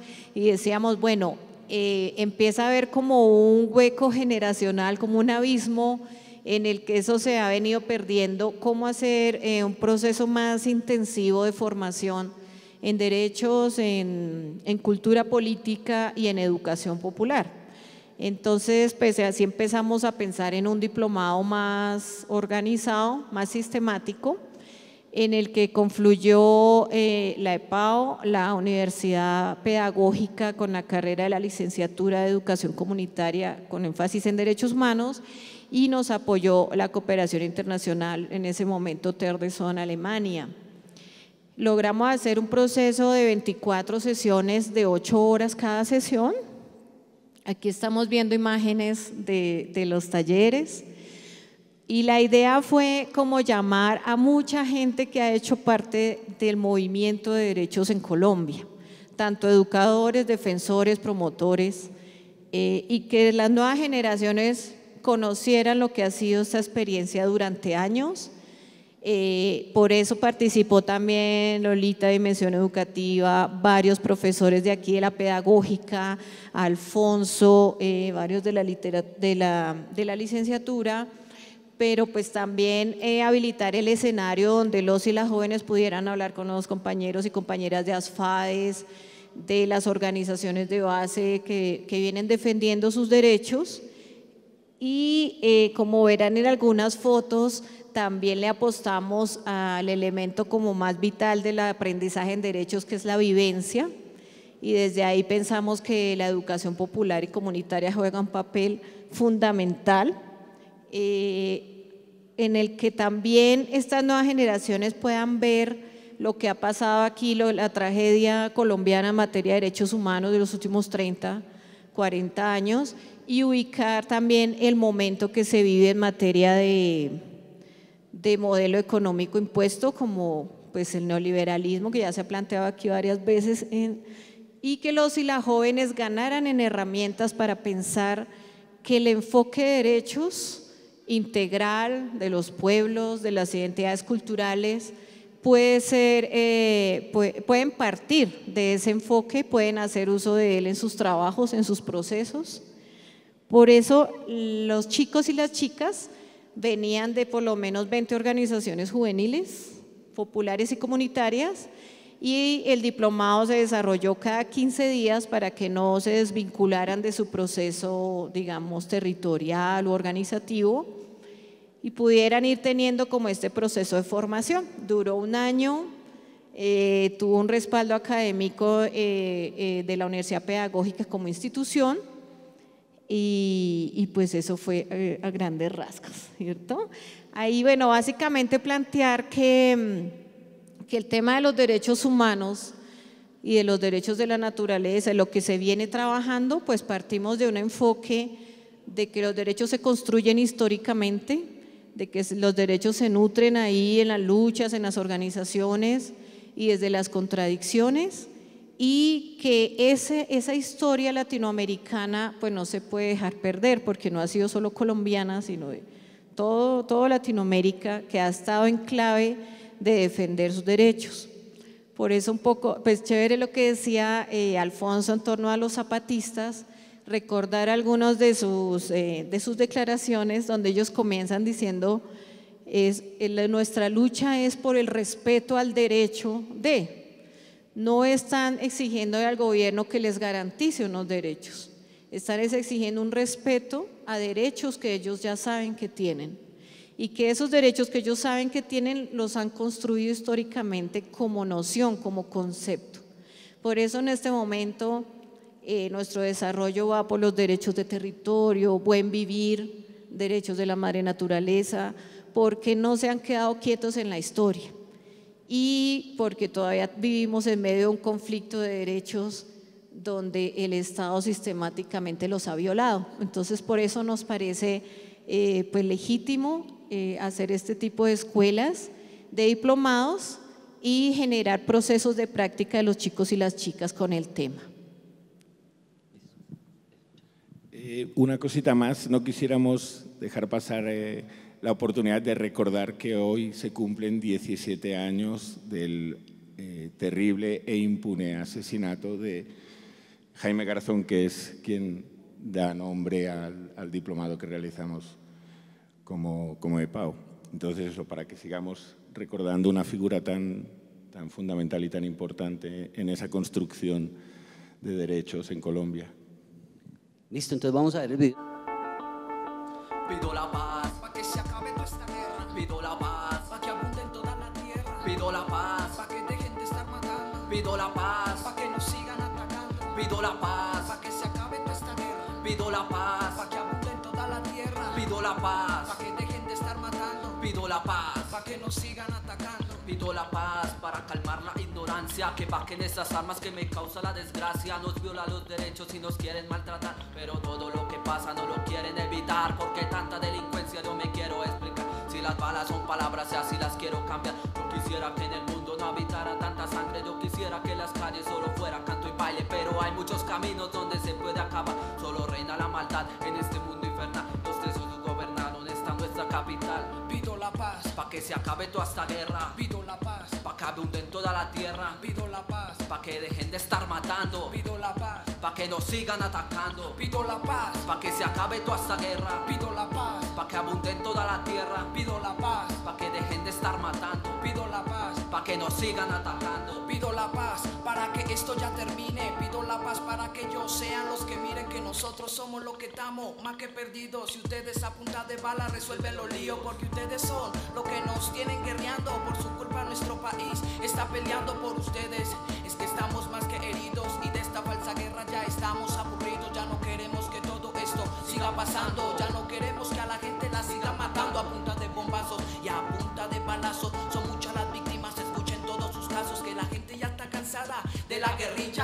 Cansada de las guerras entre pandillas, ya está cansada de todo este maldito espanto. Y para que pare la guerra, por eso es que yo les canto. Porque esta guerra viene desde mucho tiempo atrás y esta la hora y no la hemos podido parar. La acción, y si entienden mi canción, van a tener una buena Pido la paz para que se acabe toda esta guerra. Pido la paz para que abunde en toda la tierra. Pido la paz para que dejen de estar matando. Pido la paz para que nos sigan atacando. Pido la paz para que se acabe toda esta guerra. Pido la paz para que abunde en toda la tierra. Pido la paz para que dejen de estar matando. Pido la paz para que nos sigan atacando.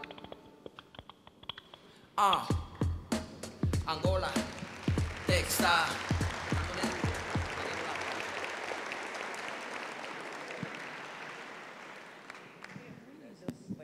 Muchas gracias a los compañeros y a la compañera de PAO. Vamos a continuar con la Red de Educación Popular de Cali. Buenos días, yo soy Franci Elena de la Red de Educadoras y Educadores Populares de Cali. Me corresponde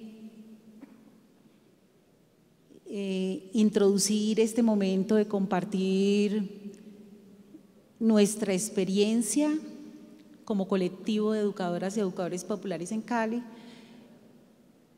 con un saludo que ha preparado esta red para dimensión educativa.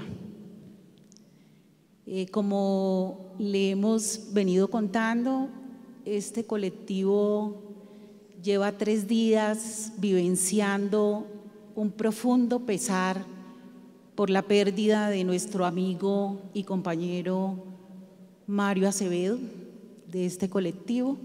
Creemos que eh, no solamente es una pérdida para nuestra red, sino para la educación popular del país, por el valor que tuvo Mario de trabajar con tanta fuerza por la educación de los sectores populares. A propósito de la redimensión que este evento está haciendo de la relación pedagogía y política, quisimos introducir este saludo en los 40 años de dimensión educativa con una expresión de nuestro amigo y compañero Mario Acevedo. Necesitamos de una pedagogía indignada, esperanzada, crítica, respetuosa de las diferencias, que asuma como su tarea central la liberación la lucha contra una concepción autoritaria del Estado y la sociedad.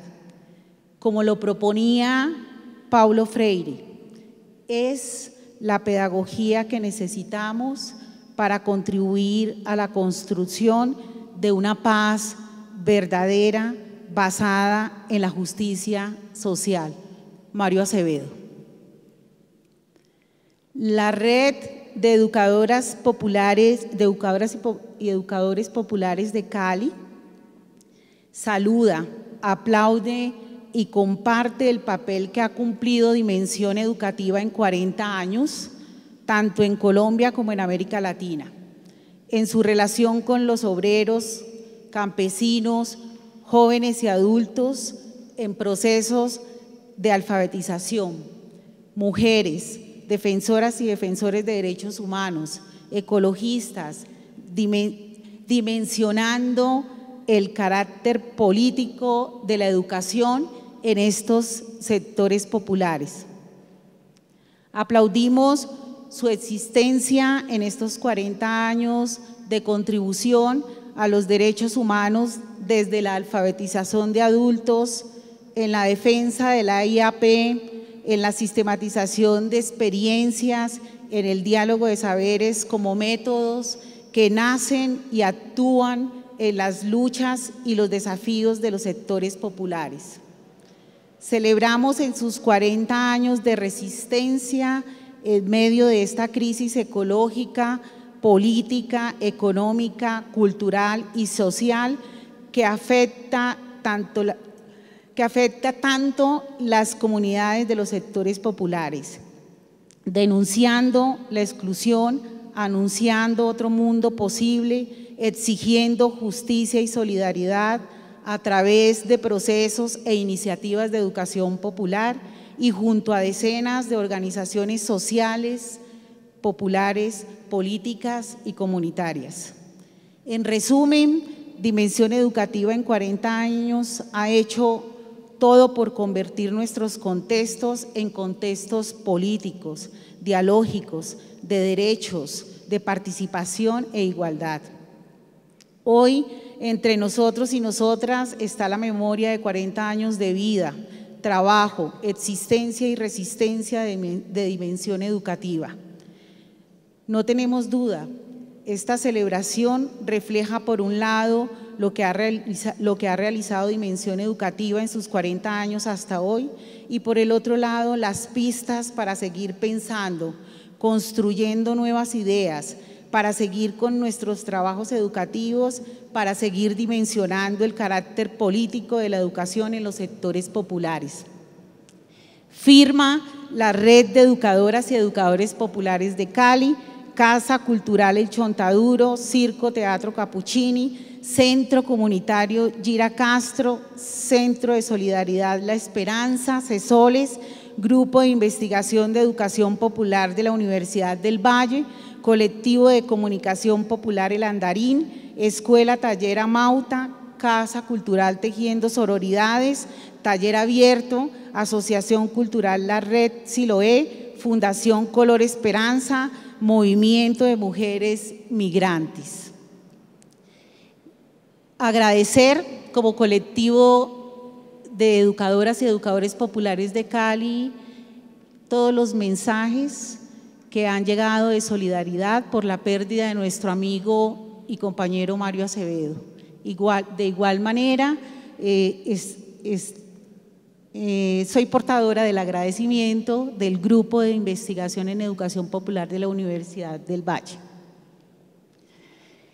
Este colectivo eh, nace hace seis años en la preparación y los desarrollos del primer encuentro de educadores populares eh, y en la conmemoración de los 30 años de la educación popular en Colombia. Nos agrupamos 14 organizaciones comunitarias, populares, sociales de Cali, la preparación de este evento nos lleva a reflexionar sobre el sentido en nuestros trabajos comunitarios, sobre las pedagogías con las que hacemos educación en los sectores populares, nos lleva a preguntarnos sobre la relación de las organizaciones con las instituciones del Estado, reflexionando sobre esos aspectos, eh, nos hemos motivado para constituirnos como colectivo de los educadores y las educadoras populares en Cali. Quisimos ir más allá eh, de la conmemoración de los 30 años de la educación popular en Colombia y organizarnos como educadoras y educadores populares. Eh, de allá para acá, permanentemente estamos encontrándonos eh, con la tarea de leer nuestros contextos, bueno, yo tenía preparado ahí unas, unas, eh, un registro fotográfico, no sé si es posible mostrarlo.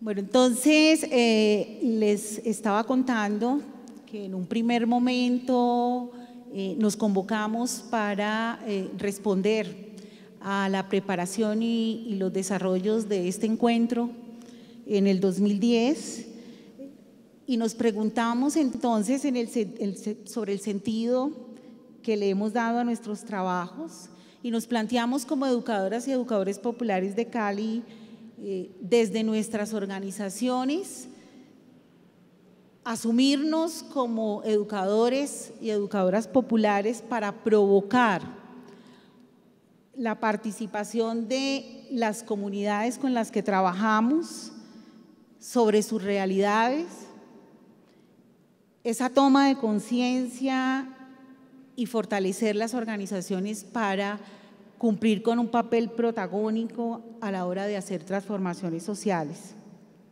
Cuando pensamos nuestros procesos y los territorios, decíamos, estamos haciendo educación popular, debemos fortalecer eh, ese carácter, esa intencionalidad que tiene la educación popular, que es política, y es política eh, por su carácter transformador. Nos planteamos formar a nuestros educadores populares, fortalecer nuestras organizaciones y movilizarnos contra cualquier acto de injusticia, exclusión y marginación de nuestras comunidades. Y desde ahí empezar a hacer procesos de construcción de cultura política. Cuando nos planteamos eh, cuál sería o cuál ha venido siendo nuestra relación con las instituciones del Estado. Nos propusimos desde nuestros procesos construir sujetos colectivos. El mismo hecho de construir sujetos colectivos nos aparta de hacerle el juego a la politiquería y a la política de cooptación. En ese sentido, nos hemos planteado apoyarnos desde otros procesos, eh, desde otros apoyos, desde el punto de vista de la financiación, sobre todo con las organizaciones de cooperación internacional que respetan los principios de la educación popular y de los procesos que venimos adelantando en, eh, desde estos principios.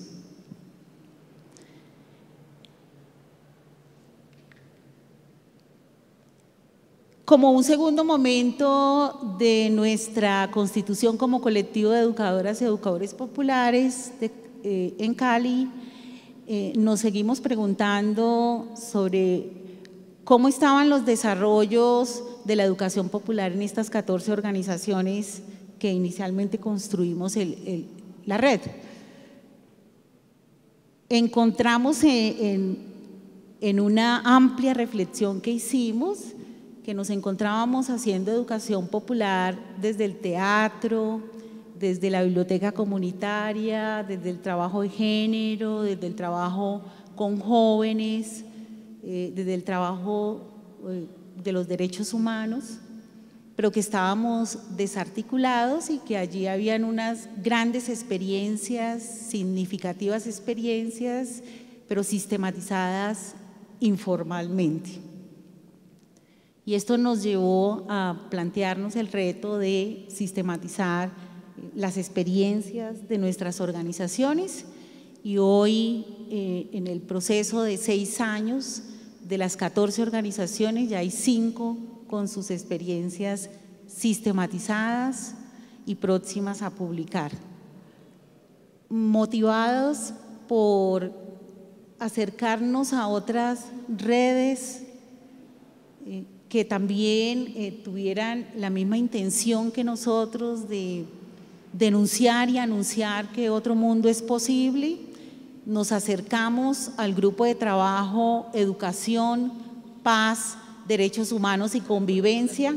Entonces les contaba que en ese intercambio de nuestra experiencia y en, esa, y en ese ánimo de compartir eh, con otras redes, nuestro, eh, nuestro principio de denunciar y anunciar. Eh, nos encontramos con el grupo de trabajo Educación, Paz, Derechos Humanos y Convivencia de SEAL, eh, del cual hoy como colectivo Red de Educadoras y Educadores Populares de Cali lo coordinamos. En este grupo de trabajo confluyen educadores populares de Venezuela, Colombia, Argentina, Perú y México. Luego eh, nos seguimos preguntando sobre las pedagogías con las que veníamos haciendo procesos educativos en los sectores, en los sectores populares. E hicimos entonces una reflexión eh, muy grande, eh, es amplia y nos convocamos para un evento que le llamamos Entretejiendo Pedagogías, que estuvo muy acompañado por Dimensión Educativa a través de Lola y Alfonso Torres. Esta reflexión nos lleva a pensar que hay necesidad desde los procesos que adelantamos de educación popular con las organizaciones que construyen eh, la red. Hay necesidad de lo que decía eh, Marco Raúl ayer, redimensionar la relación de la pedagogía y la política.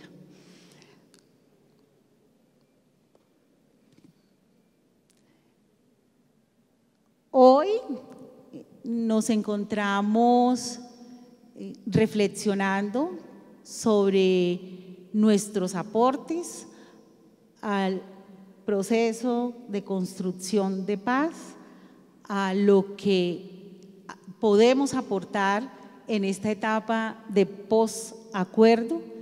Eh, consideramos ¿sí? que las vivencias, las preocupaciones, eh, las angustias, las experiencias de los sectores con los que trabajamos no están reflejados ni en los diálogos de La Habana, ni en los acuerdos, eh, pero sí creemos que tenemos mucho que aportar en la construcción de la cultura de paz y creemos que eh, lo podemos hacer desde las problemáticas que tenemos en la ciudad. Consideramos que las problemáticas del país se reflejan, se viven en la ciudad. Entonces haremos educación y construcción de paz desde las problemáticas de la ciudad. desde allí serían nuestros aportes. Este colectivo eh, se reúne una vez al mes, sagradamente. Tenemos una dinámica y es que nos rotamos las, eh, los encuentros en las sedes y eh, obedecemos pues a un principio de la educación popular y es la importancia de hacer la lectura de los contextos. Entonces, mes a mes hacemos la lectura de, la, de coyuntura, leemos nuestros contextos y desde allí venimos haciendo unas construcciones sobre nuestro punto de vista acerca del proceso de construcción de paz.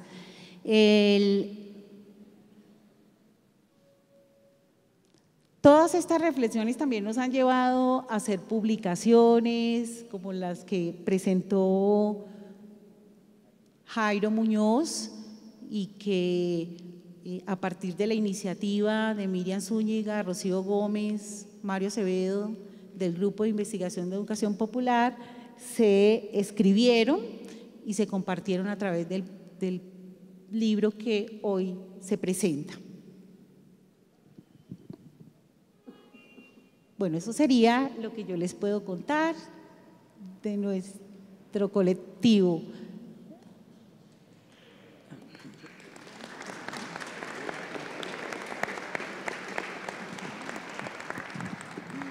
Muchas gracias, Franci. Unos, unos pequeños avisos, sobre todo de reconocimiento. Este evento se hace posible por la presencia del programa Licenciatura en Educación Comunitaria con énfasis en derechos humanos de nuestra universidad, a nuestros estudiantes que nos están apoyando durante, han estado durante toda la semana atendiendo todos los requerimientos para la preparación de este evento. Eh, un agradecimiento muy especial también a los profesores que hoy también se encuentran de, la, de nuestra universidad y de la Escuela Orlando Fasborda, que ha hecho posible la exposición, que por favor invitamos a que la veamos, la leamos. También a los profesionales de la Subdirección de Recursos Educativos, quienes nos ofrecen todo el apoyo técnico para que tengamos en la memoria de este evento y posteriormente lo podamos eh, editar y difundir. Vamos a invitar a los jóvenes que hacen parte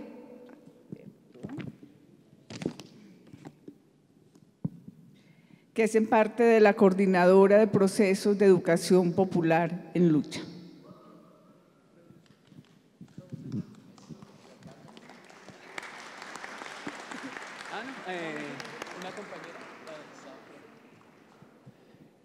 Buen día para todas, para todos, para todes. Em, yo estoy un poco tembleque y, pensé que eran nervios, pero pues ustedes son muy chéveres porque me van a intimidar. Lo que pasa es que tengo es como frío y el saco se me quedó lejos. Entonces, como está haciendo frío, yo me voy a poner de pie. Ah, bueno, ahí me prestan un... Ahorita, ahorita. Me voy a poner de pie y voy a invitar a los, a los compañeros a que nos hagamos por allá. Gracias. Ahí, ahí te abrigas. Solidaridad. Gracias. Eh, una compañera pues hizo la presentación y, no queríamos desaprovecharla, entonces nos vamos a hacer por acá. Em, bueno,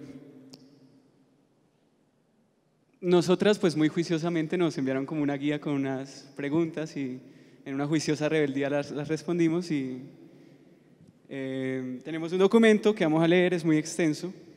No, mentira, no vamos a leer. Nos vamos a apoyar acá. Coordinadora de Procesos de Educación Popular en Lucha. Por ahí de pronto les suena el nombre del día de ayer de la coordinadora distrital. Somos eh, personas que se inspiran en, esta coordinadora, también en, la coordinadora de bachilleratos populares de Argentina. De ahí surge nuestro nombre. Eh, ha sido muy bonito en el encuentro, pues hasta ahora yo he visto cómo se reúnen eh, las históricas y los históricos de la educación popular y, es muy bonito pensar también que eh, en ese encuentro he visto muchas caras de personas que han hecho parte de la coordinadora en, el tiempito que tenemos de estar camellando. Eh, pero actualmente estos son los procesos que, que hacen parte de la coordinadora. El PREICFES y Preuniversitario Popular del Centro, que se ubica en el barrio La Perseverancia. El colectivo también El Viento, por allá arriba donde hace viento, en San Cristóbal. Eh, la Preuniversidad Tunjuelo Popular, en, en, la localidad de Kennedy, pero como nos gusta y quisiéramos llamarle Techotiva. Y eh, el CEP Siembra y el CLAP, dos procesos eh, que se unen en este, en este tiempo, en, estos, en este año, a la coordinadora. El CEP Siembra también en, en San Cristóbal y nuestras compañeras y compañeros del colectivo de Acción Popular CLAP en USME. Ese es como eh, la, el panorama actual. Y, eh, pero pues como digo, han ido y venido muchas personas, pues como hay muchas experiencias acá. Mm, bueno, comenzar por, por, una obviedad, que la educación es un acto político. Eh, es un lugar común, una, una frase de Freire de, la, de, las, de las cartas a quienes pretenden eh, educar, la séptima, y nos parecía pues importante arrancar por aquí porque eh, es una reflexión constante que, que, que mantenemos en, en, nuestros procesos. Esa educación como acto político, como ya lo han retomado desde ayer y el día de hoy todas las personas invitadas. Eh, pero digamos que ha sido también muy bonito y de nuevo Lola Sendales en, en una clase nos, nos decía y agregaba esta máxima freireana que es un hecho político también, es un acto y un hecho político. Y esa múltiple temporalidad nos parecía también interesante recogerla en este momento en el que somos una recopilación de historias, sueños, utopías, eh, con, un horizonte y con una realidad pues que se transforma cada día. Eh, arrancamos por ahí porque la primera pregunta que nos hacían era eh, ¿por qué? La siguiente. ¿En qué campo haría la educación situábamos la experiencia? Entonces, como acto y hecho político decíamos, bueno, nuestra experiencia consideramos que se sitúa en cualquier campo de la socialización humana. Creemos que cada acto de la socialización humana tiene un potencial educativo eh, y transformador. Entonces era difícil responder a esta pregunta. E intentamos hacer un ejercicio de síntesis para recoger eh, a grandes rasgos los escenarios en los que consideramos que hemos elaborado más juiciosamente nuestra apuesta educativa. Listo, bueno, entonces iniciaríamos como a dar respuesta a la pregunta con el ejercicio de, de síntesis que hicimos. Eh, decir que de verdad fue un ejercicio bastante difícil porque dentro de los cinco procesos y los más de tres años que llevamos como coordinadora, pues se han hecho varias cosas. Entonces, como, como que recogerlas y englobarlas fue todo, toda una proeza. Entonces, el primer punto que nosotros creemos que es importante enunciar es el trabajo en torno a la, al acceso a la educación superior. Cuando nace la coordinadora, el móvil de articulación dentro de los procesos que, que, veníamos relacionándonos, pues era fundamentalmente el hecho de compartir una experiencia de trabajo que eran los predictos y preuniversitarios populares. En ese entonces la mayoría de procesos trabajábamos en ellos, en diferentes localidades, y el primer motivo para encontrarnos era compartir experiencias, hacer reflexiones pedagógicas, eh, pensar los currículos, pensar las propuestas pedagógicas en torno de las áreas, de los ciclos, de las formas eh, y, las, y los elementos que habríamos que, que, desarrollar dentro de los, dentro de los proyectos y preuniversitarios. Ese fue entonces hasta el momento como que el motor que, que movilizó las distintas experiencias para articularnos. Eh, acá pues hay algunas fotos de algunos talleres que hicimos en el marco del predicfes preuniversitario y que con el tiempo eh, pues fue avanzando en construirse algo más allá del predicfes preuniversitario. Eh, decir de paso pues que nosotras reconocíamos la importancia de esto en tanto atacábamos una inequidad que nos parecía sumamente excluyente y que tiene que ver un poco con con quiénes son los que merecen o los privilegiados eh, para entrar a la, educación superior pública, eh, pero pues no solamente pública, sino en general. y decíamos, bueno, no, ahí hay un campo de batalla que dar, que esta nueva generación de educadores populares que ya no se enfrenta al reto inmediato solamente de la alfabetización como sucedió en los 70 o en los 80, hoy tenía reto pues de expandir y de trascender las fronteras de las universidades y las instituciones de educación superior. El segundo eh, capítulo que como que generamos fue el de la territorialidad, eh, decir y hacer una claridad, nuestra reflexión en torno al territorio eh, ha girado frente al hecho de que no es que exista un campo de trabajo territorial y otro campo de trabajo educativo y otro artístico, sino que el territorio se hace transversal. Creemos que incluso en el ejercicio mismo del preuniversitario preuniversitario debe haber una intención por la transformación territorial, por el enraizamiento en las prácticas, pero aún así, pues lo, lo, ponemos en una capítulo porque hay experiencias que nos interesan eh, comentar. Una pues ha sido la intención de reconocimiento del territorio. Mucha gente no, muchas veces eh, nosotras mismas no conocemos los lugares en los que habitamos, por lo menos eh, quienes trabajamos o vivimos en la localidad eh, de San Cristóbal no conocemos gran parte de, eh, de, lo que compone la localidad y creo que pasaría en todas las localidades, entonces hemos generado como unas propuestas que son las salidas territoriales. Acá pueden verlo en la entrada del Parque Entre Nubes que queda en la localidad de San Cristóbal y acá abajito pues tenemos una salida que se hizo a la al Páramo del Delirio eh, a la Reserva del Delirio, eh, pues con una actividad que teníamos con los chicos y las chicas de los pre y preuniversitarios. Otra, otra práctica, digamos, que hace parte de ese, de ese enfoque estricto del territorio, pues ha sido la intención de participar en los espacios de articulación, de diálogo, de coordinación y de movilización que se dan en el marco eh, pues de, de, los lugares en los que trabajamos. Esta foto es de una movilización eh, del primero de mayo, que incluso aparecíamos también en una foto de, del primero de mayo que, que se presentó hace poco. Eh, nosotros usualmente hemos salido en la movilización desde el sur y con la gente, y en esta que es la de San Cristóbal, que es desde el sur eh, y territorial, que es una movilización pues mucho más calmada, salimos con, con niños, con, con, adultos y demás, entonces acá está un poco la, la pancarta de la coordinadora. Y otro elemento que nos parece importante es que varios de los procesos que hemos trabajado fundamentalmente en espacios comunitarios hemos dado la pelea por la defensa de los mismos, sobre todo porque hubo hace dos años, un año, eh, inicia todo un proceso de pelea judicial por esos espacios comunitarios, nos los querían arrebatar. Para el caso de la Casa del Viento y Corandicol, ambos espacios ubicados en la localidad Cuarta de San Cristóbal e iniciamos todo un proceso de resistencia. Ahí pueden ver algunas fotos. Hoy la Casa del Viento sigue en pie y sigue trabajando el colectivo también El Viento. Y la sede de Corandicol, pues sí la perdimos por un desalojo, em, pues, eh, digamos, en el que no, no, tuvimos previo aviso. Entonces fue muy fácil para el ESMAD llegar, eh, violentarnos, sacarnos y, y, hoy pues estamos trabajando en, en otro espacio.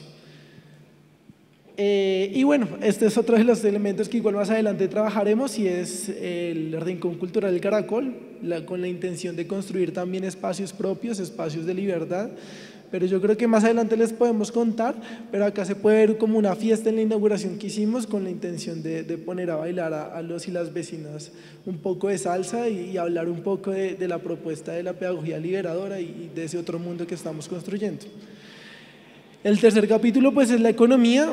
Evidentemente uno de los retos que nos hemos enfrentado es frente a la financiación y también la sostenibilidad de los procesos. Eh, dentro de la coordinadora, si bien existe o coexiste una diversidad orgánica que nos ha llevado a tener como diferentes eh, definiciones tácticas sobre la consecución de los recursos, algunos procesos pues eh, reciben recursos pues del Estado, de proyectos, de ONGs, otros por el contrario pues tienen una postura quizás más alejada, pero lo cierto es que nuestro horizonte como coordinadora es un horizonte de la autonomía y de la autogestión. Entonces, lo que nosotros hemos abogado hasta el momento es que los recursos que tenemos que conseguir son recursos de que el mismo proceso debe ir generando para además evitar que sean otras fuerzas y otras intenciones las que vengan a, a, digamos, a, adjudicar o, o, hacerse parte pues, de, de, nuestras iniciativas. Entonces ahí tenemos algunas experiencias, estamos en este momento vendiendo algunas camisas, desafortunadamente hoy se nos olvidó por el afán traerlas, pero pues pueden encontrarlas en Rincón Cultural El Caracol. La intención es pronto hacer una cooperativa con los y las chicas, se están haciendo unos talleres de serigrafía, entonces ojalá pronto tengamos una cooperativa que también les sirva a las chicas que asisten al proceso, pues gestionar sus recursos para cuando entren a la educación eh, superior o para, para hacer su vida. También está la cooperativa Agio, una experiencia que impulsaba sobre todo la Universidad Tunjuelo Popular de comida vegana. Acá pueden verlos eh, pues con todo, con todo montado, entonces también en el Caracol pueden encontrarlo. No sé si trajeron cosas para vender hoy, ¿no? Bueno, no, pero pues recomendado. Y pues otras actividades eh, que digamos tienen un lapso de periodo más amplio, pero pues han intentado hacer permanentes. Los bazares, estos bazares fundamentalmente se han hecho en las universidades públicas, este es un bazar que hicimos en la Universidad Nacional, y las fiestas solidarias. La última fiesta se hizo en el Caracol y la penúltima se hizo en Corandicol, eh, una semana antes del desalojo, fue como la última actividad que hicimos allá, pero han sido pues eventos bastante exitosos que nos han permitido gestionar tanto la actividad propia de la coordinadora como las proyecciones que, que hemos hecho. Entonces, el horizonte ha sido la autonomía y la autogestión. Otro, ya creo que este va a ser el punto más grueso de, de nuestra experiencia, que es, lo, lo, lo, englobamos como arte, ecología, género y juego. Y pues para hablarles un poco de esto, los dejo pues en, eh, con, la compañía de, un compañero de CLAP, de uno de los últimos procesos que entra la coordinadora, el colectivo de acción popular, que nos va a comentar un poco cómo hemos desarrollado entre la coordinadora y también ellos este, este, este, este momento de arte, ecología, género y juego. Bueno, buenos días para todas, para todos. Eh, wow, no había hablado nunca ante tanta gente. Entonces, bueno, como dijo mi compañero Julián, eh, somos el colectivo de Acción Popular Club. Venimos trabajando de la mano con un proceso hermano o hermana que es la voz de la mujer. Eh, tengo la fortuna, el honor y el orgullo de trabajar con, con compañeras, solo compañeras. Soy el afortunado de, de los colectivos. Eh, la Voz es, es un órgano informativo popular, eh, en él trabajamos un proceso radial, eh, tenemos un proceso de boletín eh, popular en los barrios en donde trabajamos, específicamente pues en USME, donde llevamos el trabajo de, de educación popular con, con, el colectivo, con CLAP. CLAP, bueno, como les decía, es un trabajo en USME, lo realizamos en, en un salón comunal que nos nos brinda la comunidad, la Junta. Eh, venimos trabajando alrededor de mm, cinco años más o menos. Eh, trabajamos pues lo que son talleres de artes, manualidades, a partir de los juegos, eh, de la diversión. Mm, este es un espacio pues para la transformación de sus propias realidades, de, de las realidades de los niños, de las niñas.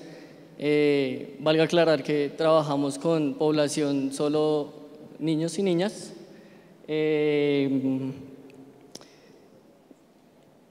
bueno, estos son eh, espacios, espacios pues que a ellos los motiva, que les interesa bastante porque la vida de, de, las niñas, de los niños pues es el juego. El juego es para ellos, lo es todo, quieren es jugar en todo momento y pues desde ahí aprovechamos la oportunidad para generar los aprendizajes, los procesos de enseñanza-aprendizaje eh, que se deben dar eh, en la educación en general.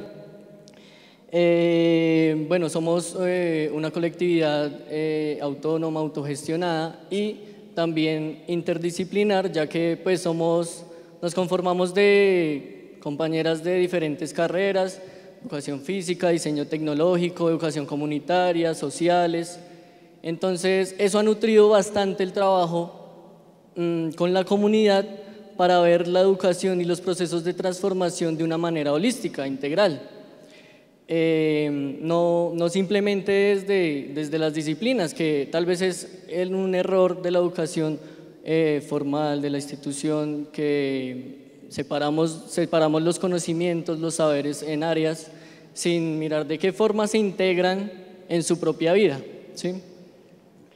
Em, listo, como, como decía el compañero, tenemos unos ejes. Algo fundamental para nosotros es el eje de, territorio.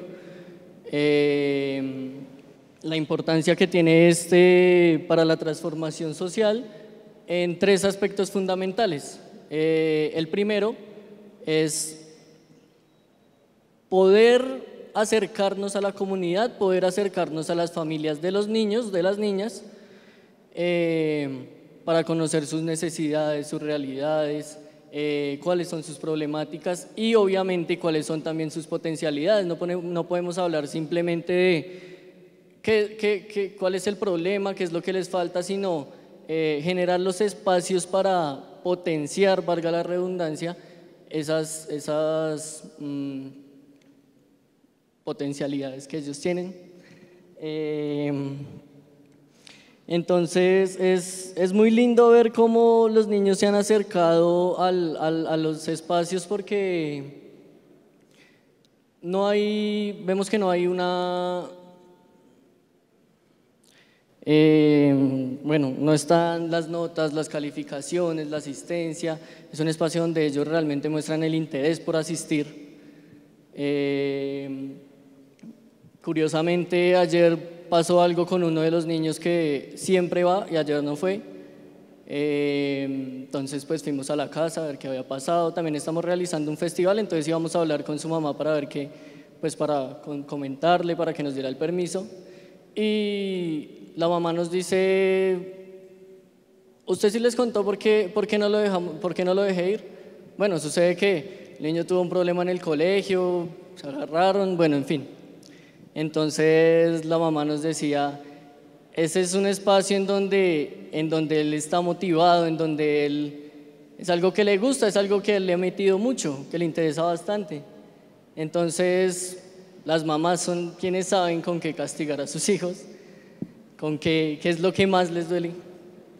Y listo, bueno, eh, para cerrar, el segundo aspecto es pues el territorio, hablando desde lo, desde lo biológico, lo físico, la defensa de este territorio, eh, la lucha por este, la defensa de la tierra y los recursos. Y el tercero y más importante es ver el cuerpo, es nuestro primer territorio de lucha, que es nuestro propio cuerpo, el reconocimiento de nuestro cuerpo. Eh, el cuidado de nuestro cuerpo y ver, eh, sacarnos de la cabeza esa visión dualista de mente-cuerpo, sino verlo como uno solo, como una totalidad mente-cuerpo, cuerpo-territorio. Eh, entendiendo este cuerpo como mi primer territorio de vida y, y de lucha.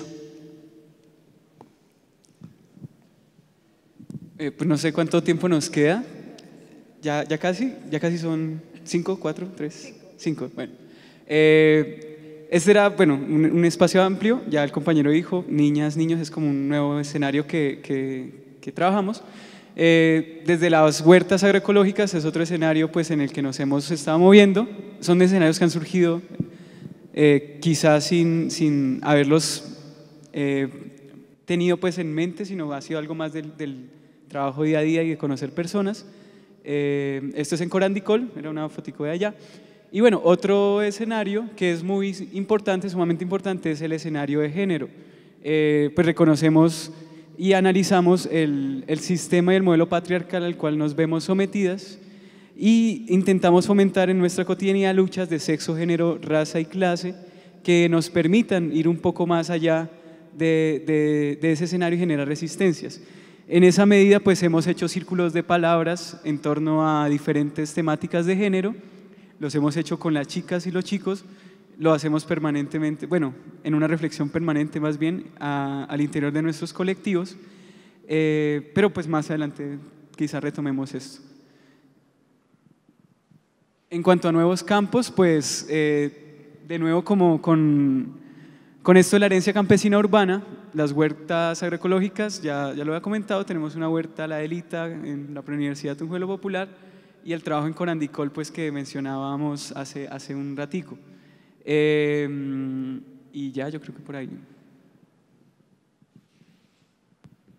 Bueno, listo. Ya esta última foto es de, de, la, pues, de lo que llamamos la Casa Libertad de Rincón Cultural del Caracol, que queda en Techotiva, donde se realiza un juego popular, la prouniversidad, para que, para que vayan y la visiten.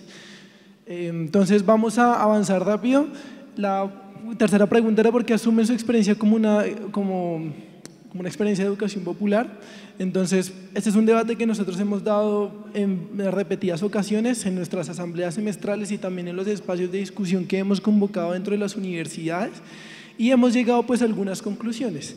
En primer lugar, nosotros consideramos que la educación, que hacemos educación popular, no solamente porque tengamos una intencionalidad transformadora, que la hay, que nuestro proyecto siempre gira hacia generar nuevos horizontes de transformación, tampoco es solamente educación popular porque por los lugares en los que trabajamos, como se dieron cuenta, todos los barrios en los que trabajamos son eh, barrios populares, San Cristóbal, Usme, incluso podríamos decir que estamos en casi toda la media luna sur de, de la ciudad de Bogotá, eso que llaman pues, pues las periferias urbanas o los cordones de miseria, donde vivimos y donde trabajamos, sino también porque creemos que nuestros procesos de educación popular, y creo que esto es sumamente importante, son una apuesta para abrir los horizontes de sentido de la gente con la que nosotros trabajamos.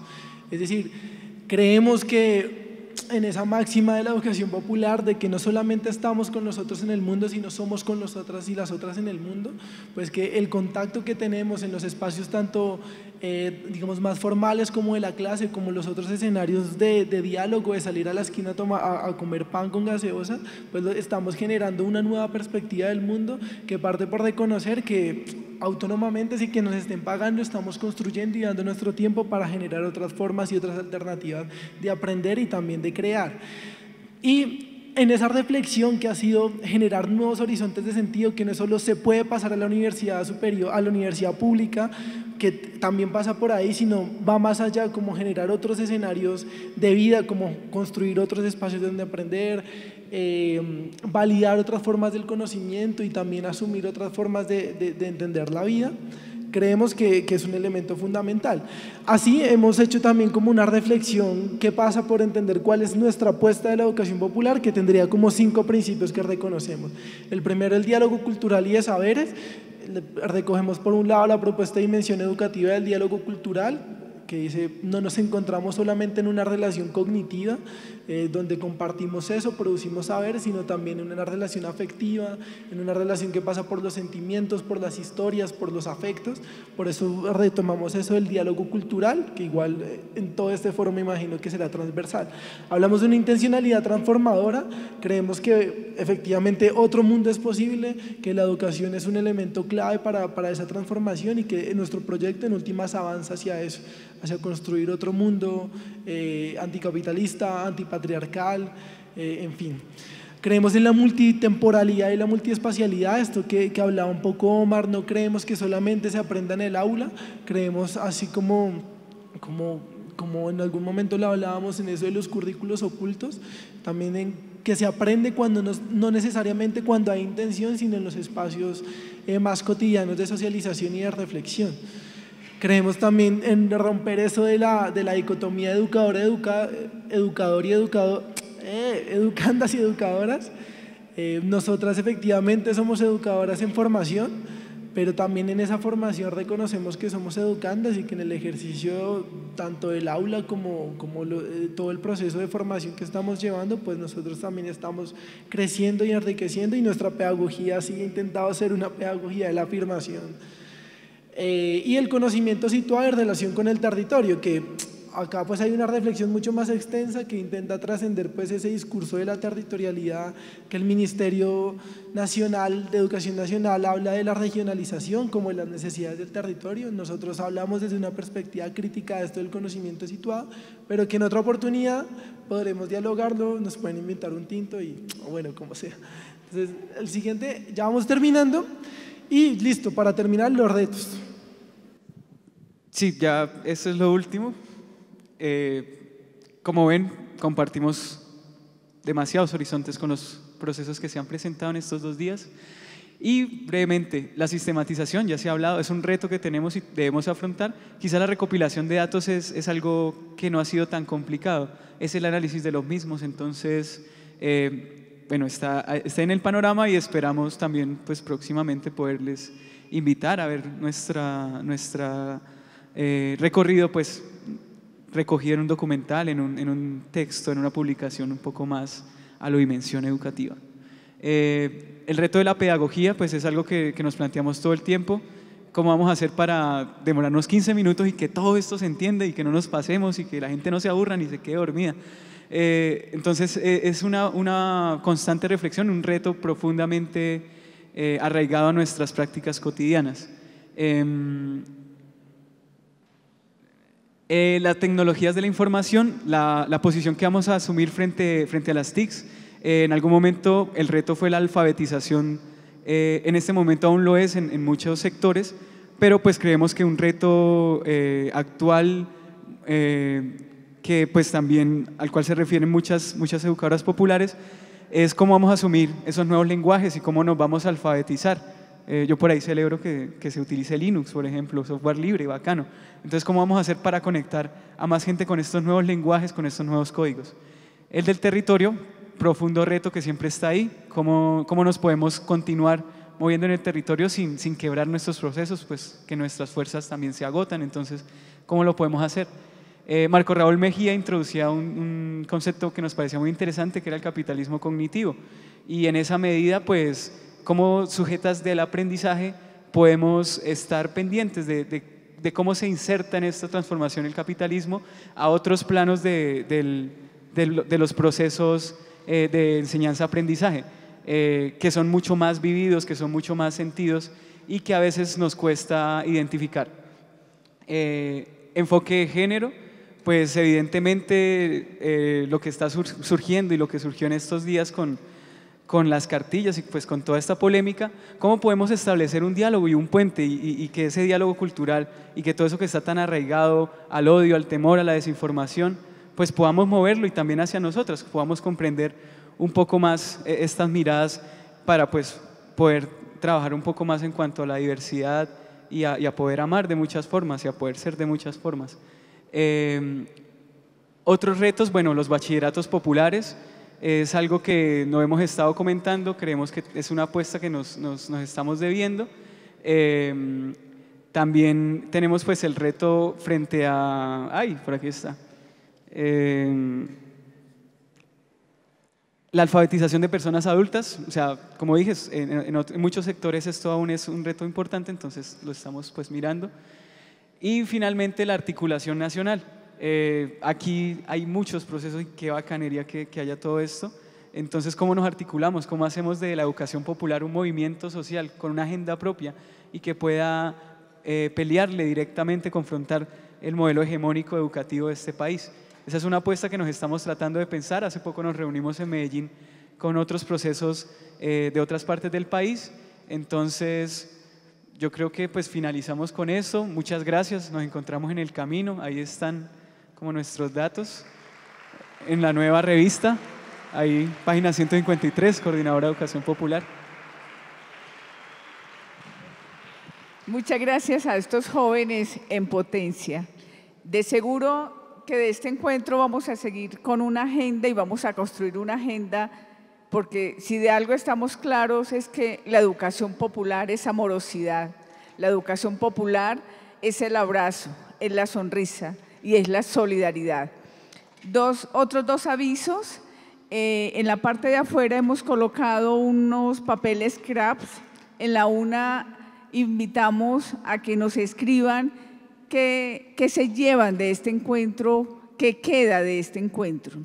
Y la segunda es que es contarles que este es el primer evento académico que hacemos en este espacio, porque la Universidad Pedagógica no cuenta con auditorios, creo que los que aquí eh, sabemos cómo nos toca pelear un espacio para hacer algún evento público o, o inclusive prestar otros espacios en otras universidades. Entonces queremos invitarles a que ustedes nos ayuden a bautizar este escenario con un pedagogo crítico latinoamericano. No se puede Freire porque ya tenemos las aulas Paulo Freire. Entonces necesitamos que ustedes nos digan cómo llamamos este espacio para darle también un lugar, una territorialización, también en el lenguaje y en la historia de la lucha de América Latina. Vamos a terminar este panel con una joven, la más joven de todo este ramillete, este crisol de experiencias. Ella viene de la ciudad de Medellín, de la corporación Convivamos, Alexandra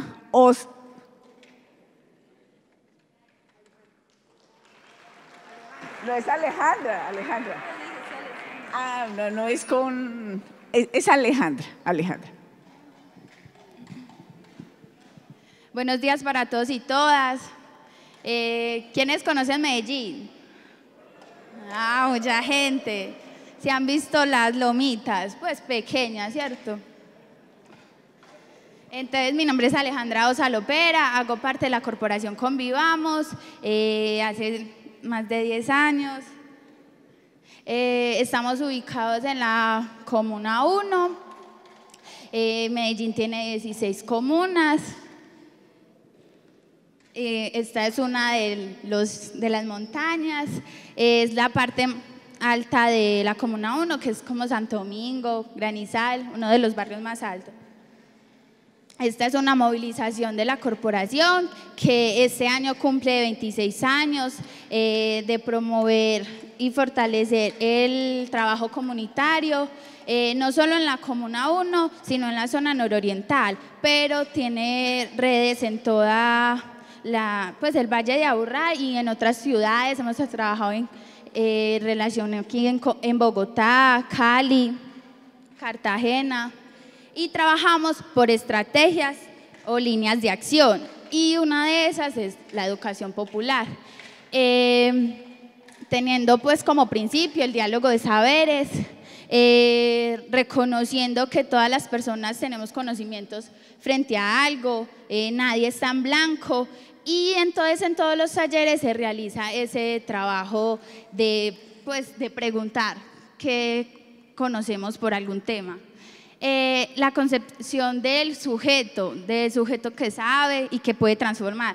En esa medida de que reconocemos que nadie está en blanco, pero que sí tenemos que hacer esa como mirada más cautelosa o, crítica eh, y que cada persona tiene como ese, esa sí, responsabilidad de transformar incidir y lo, pues, y lo hacemos. Eh, la, intencionalidad de transformadora, entonces pues no es un asunto solo de aprender cosas, sino de que se pueden llevar y materializar. Eh, el fortalecimiento de los vínculos en la comuna, en las otras comunas, el respeto por la diversidad. Si bien planteamos que la educación popular no es alienante, es primordial reconocer la diversidad. Eh, la coherencia de, lo, de los, no es solo un discurso, sino que se lleve a la práctica todo lo que hacemos. Es un, un compromiso pues político, son de proyectos ético-políticos que, que queremos construir. Eh, tenemos pues metodologías coherentes porque de nada sirve que, que planteemos la educación popular, pero que sigamos siendo solamente teóricos, eh, que siga la jerarquización.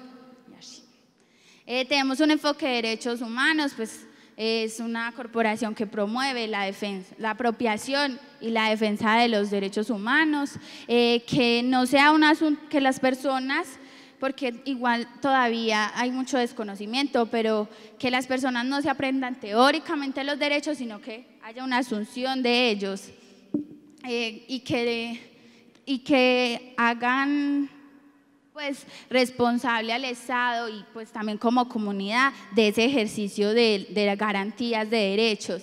Eh, entonces para eso está el reconocimiento de los derechos, la apropiación, la reivindicación, movilización, denuncia, exigencia.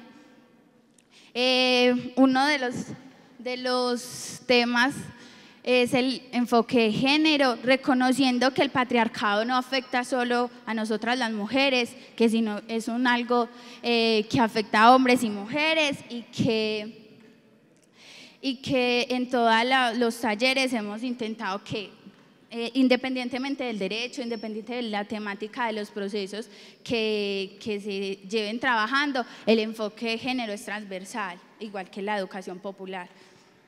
Eh, es un enfoque pues, con enfoque psicosocial, entonces las, las personas pues, que acompañan los procesos tienen que realizar pues, una contextualización y, no, y pues, reconocer las dinámicas de- de- del proceso acompañante, de la comuna y del proceso que ya se ha venido realizando. Eh, lo que les decía de las alianzas, eso por ejemplo es una toma que se hizo en el Parque Berrío por la defensa de los derechos de los niños y las niñas y que se hace con una, una unión de varias organizaciones que se llama la Alianza Comunitaria eh, de Juventud. Entonces en Juventud se trabaja mucho el tema de antimilitarismo y, y for- la resolución de conflictos eh, desde, basadas en una pues unas pedagogías para, por ejemplo, hemos trabajado las pedagogías para el fin de la guerra, todo basado para la, resolución de conflictos no, pues, no violenta. Hemos eh, acompañado los procesos de mujeres, esto es un 8 de marzo. Eh, y otra de las líneas es ah, la defensa y transformación de los derechos, pues la defensa y transformación social del territorio, que es una línea estratégica de la corporación, que es donde se trabajan las comunas 1 y 3, que es pues es varios de los derechos pues públicos, pero el que más se trabaja es el defensa del agua por el agua potable. Entonces los acueductos comunitarios, que las personas sepan qué hacer para que ese derecho se cumpla. Y ese es un encuentro de, del- de los comités barriales. Entonces se trabaja por comités y esos comités hacen como la multiplicación en, otras, en otros barrios. Y la mayoría de esos comités son personas adultas, pero los jóvenes y las hijos y las hijas de ellos llegan. Entonces se ha generado o como otros procesos de juventud en torno también a la defensa del territorio. Eh, estrategias de acción colectiva, entonces está la animación territorial, que es ir a los barrios, reconocer, hacer recorridos barriales, es conocer cuáles son las dinámicas, eh, que todos los procesos que, que se realicen vayan para la multiplicación, o sea, no que las personas están en un taller, en un seminario, un mes, dos meses, varios años y ya, y, sino que esas personas se conviertan en multiplicadoras y multiplicadores de, de todos los aprendizajes y construcciones que se van realizando. La movilización, la construcción de conocimiento popular. eh, y entonces, eso es una de las fuertes que está trabajando la corporación porque antes los movimientos sociales estábamos pues solamente en el activismo. Y entonces estábamos perdiendo la, la recolección de la memoria, ¿cierto? Entonces eso es uno de las otras líneas, que es la, la de investigación y construcción de conocimientos, que se está enfocando en procesos de, de sistematización, de investigación, eh, es la que se encarga de la relación con las otras universidades, de, las de la relación de las universidades y los barrios. Eh, la escuela de multiplicación comunitaria. Entonces, en la escuela de multiplicación comunitaria se pensaba que los grupos que están en, en los diferentes barrios los vienen acompañando personas y esas personas las llamamos figuras significativas que tienen un, un rol, una, un, pues, eh, un referente, son un referente para las diferentes eh, personas que van acompañando. Entonces, que ellos y ellas terminaran de como, pues, tuvieran herramientas para cualificar su acompañamiento, entonces se realizó una escuela de multiplicación, pero a la vez eso se va generando siempre, porque los diferentes procesos, entonces hay como personas que, que ya van viendo que eso es lo que les gusta, entonces eh, vamos, digamos que se va orientando ese proceso para que ellas multipliquen a niños o a otros diferentes procesos. Por ejemplo, así pues pasó en lo personal, porque yo llegué y estaba en el proceso que se llama Mujer Joven y Vida, que todavía existe. Y, y yo iba como participante y, y después como Clara Inés Ortiz, que además que algunos la conocen, que es la psicóloga, empiezan pues como el asunto de la multiplicación y entonces ya eh, íbamos adquiriendo las herramientas para poder hacer los talleres nosotras solas. Eh, y eso permite entonces y que uno se piense en la universidad porque eh, hemos visto que los académicos los vemos muy alejados de, de los barrios. Entonces eso es lo que ha hecho como la educación popular, que, que esos procesos se vayan pues relacionando en verdad. Y, y hay que, conse- pues sí, hay que adquirir un sentido de pertenencia porque hay veces cuando accedemos a la universidad eh, queremos como irnos del barrio o, o- o ir a trabajar en otras cosas, sabiendo que si conocemos el contexto y, y estamos adquiriendo pues herramientas teóricas en la, en la universidad, podemos eh, facilitar y, y generar procesos más factibles en, en la misma comunidad. Y eso pasó, por ejemplo, yo no me pensaba nunca en la universidad y en la Corpo, pues fueron como alimentando eso y en ese momento estoy estudiando comunicación social y periodismo. Eh, también eh, como el género, pues la, la- la construcción de equidad de género y mm, es uno de los factores eh, que realizamos, entonces las- se genera la escuela feminista y popular. Entonces esta tiene tres niveles. Y lo que, pues lo que se quiere es que se haga lo mismo, una concientización de las mujeres, una apropiación y de la ciudadanía, porque también hemos visto que siempre eh, las mujeres nos quedamos en el, en el ámbito de lo privado y entonces tenemos que ir empezando a salir pues más. Entonces está el, el nivel 1 que se llama Reconociendo mis alas de mujer, que es en el, el nivel básico donde las mujeres empiezan, pues porque hay unas que tienen proceso y otras que no, inician su proceso de, de transformación, ¿cierto? Eh, individual y subjetivo, pero que a la vez se convierte en colectivo porque es esas mismas realidades que viven otras compañeras y en general pues todas las mujeres. El nivel 2, que es el intermedio, abrazando la vida comunitaria con mis alas de mujer, es de- bueno, después de eh, ojalá haber adquirido como esa, haber hecho esa transformación política y subjetiva, empezar a que no se puede quedar solo en lo individual, sino en lo colectivo. Entonces acá empiezan las mujeres a adquirir unas herramientas para, para ir abriendo, ¿cierto? Y en el nivel 3, que es el intensivo, volando con mis alas de mujer, es como las mujeres ya inciden políticamente en otros espacios. Entonces ahí es donde encontramos las que se presentan a las presidencias de, de la JAL, a todo pues ya como cosas así gubernamentales. Entonces es muy charro porque empezamos por el, por el nivel 3 porque el año pasado eh, estaban en eso de las elecciones. Entonces tocó empezar por el nivel 3, después el nivel 1 y después el nivel 2, donde las mujeres adquirieran una participación activa y, ¿qué? Pues porque de nada sirve que nosotras participemos en esos espacios, pero que sigamos replicando el patriarcado, que sigamos eh, asumiendo prácticas capitalistas y entonces por eso se realiza también una concientización pues diferenciada. Eh, y ya vamos pues en el nivel 2.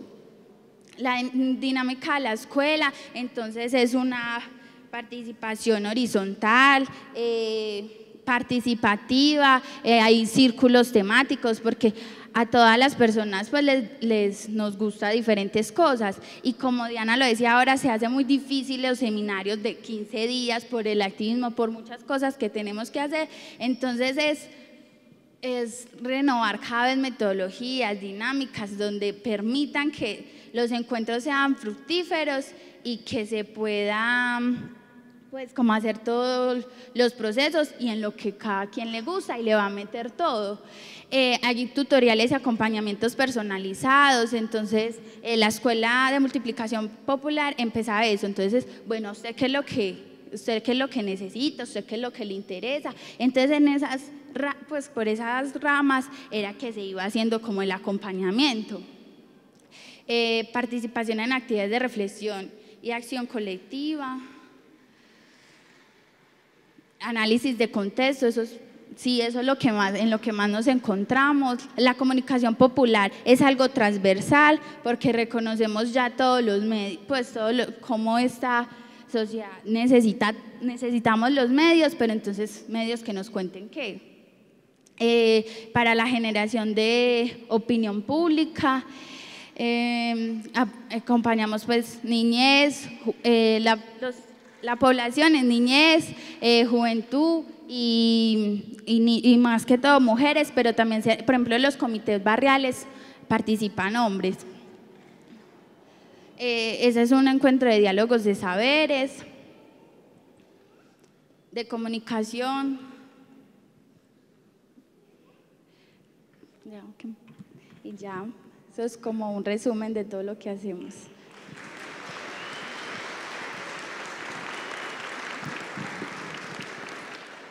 Bueno, entonces le agradecemos a la Corporación Convivamos y la representación que ha hecho Alejandra de los procesos y prácticas que lleva a cabo en la ciudad de Medellín.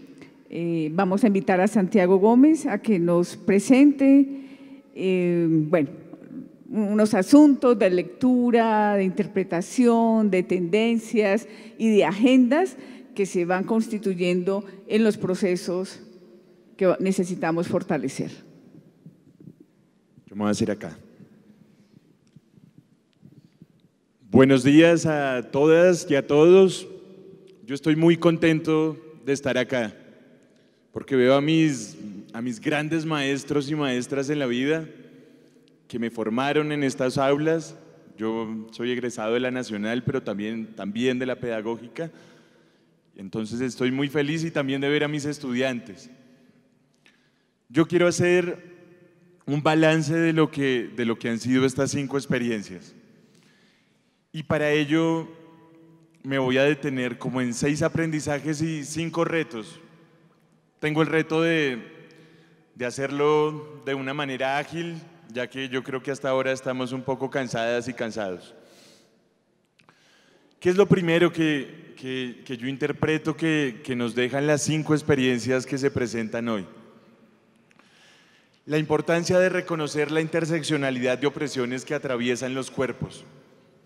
Y este es un aprendizaje que nos dejan las feministas norteamericanas, afro, afroamericanas. Y es que el cuerpo está atravesado por múltiples lugares de opresión. Creo que las experiencias recientes de educación popular nos muestran la interiorización de esas pautas por parte de todas y todos los grupos que aquí hoy nos contaron qué es lo que se encuentran haciendo. Yo creo que eso es muy, muy, muy importante. Vemos cómo, cómo siempre se tiene en cuenta las dominaciones que vienen desde un sistema de sexo-género. Eso está presente permanentemente. Así, así una experiencia le dé más énfasis a una dimensión en su trabajo que la otra. Son elementos que son transversales a, a las cinco propuestas que hoy, que hoy intervinieron acá.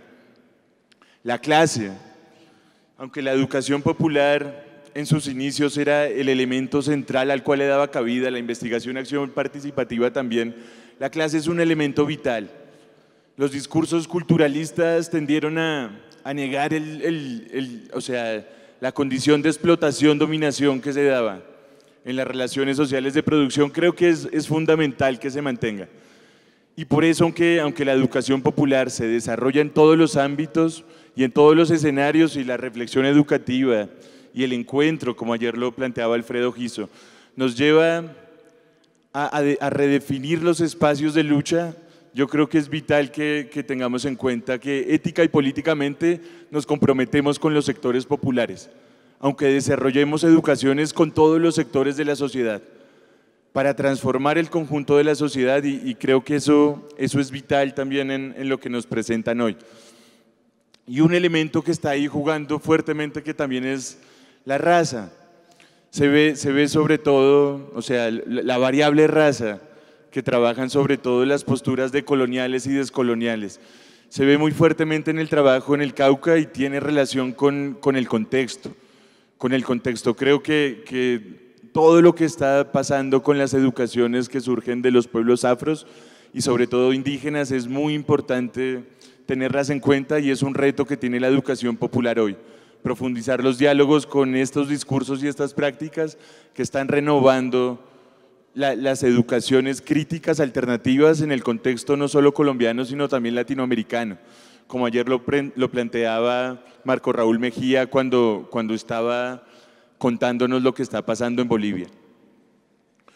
Un segundo elemento que, que a mí me parece vital y ahí es donde, donde yo encuentro una co- concreción entre, en, en- en la dimensión propiamente política de lo que se está presentando. Esa necesidad de articular iniciativas educativas, redes, colectivos, coordinadoras, yo, yo creo que eso es fundamental. Eso tiene una importancia político-pedagógica.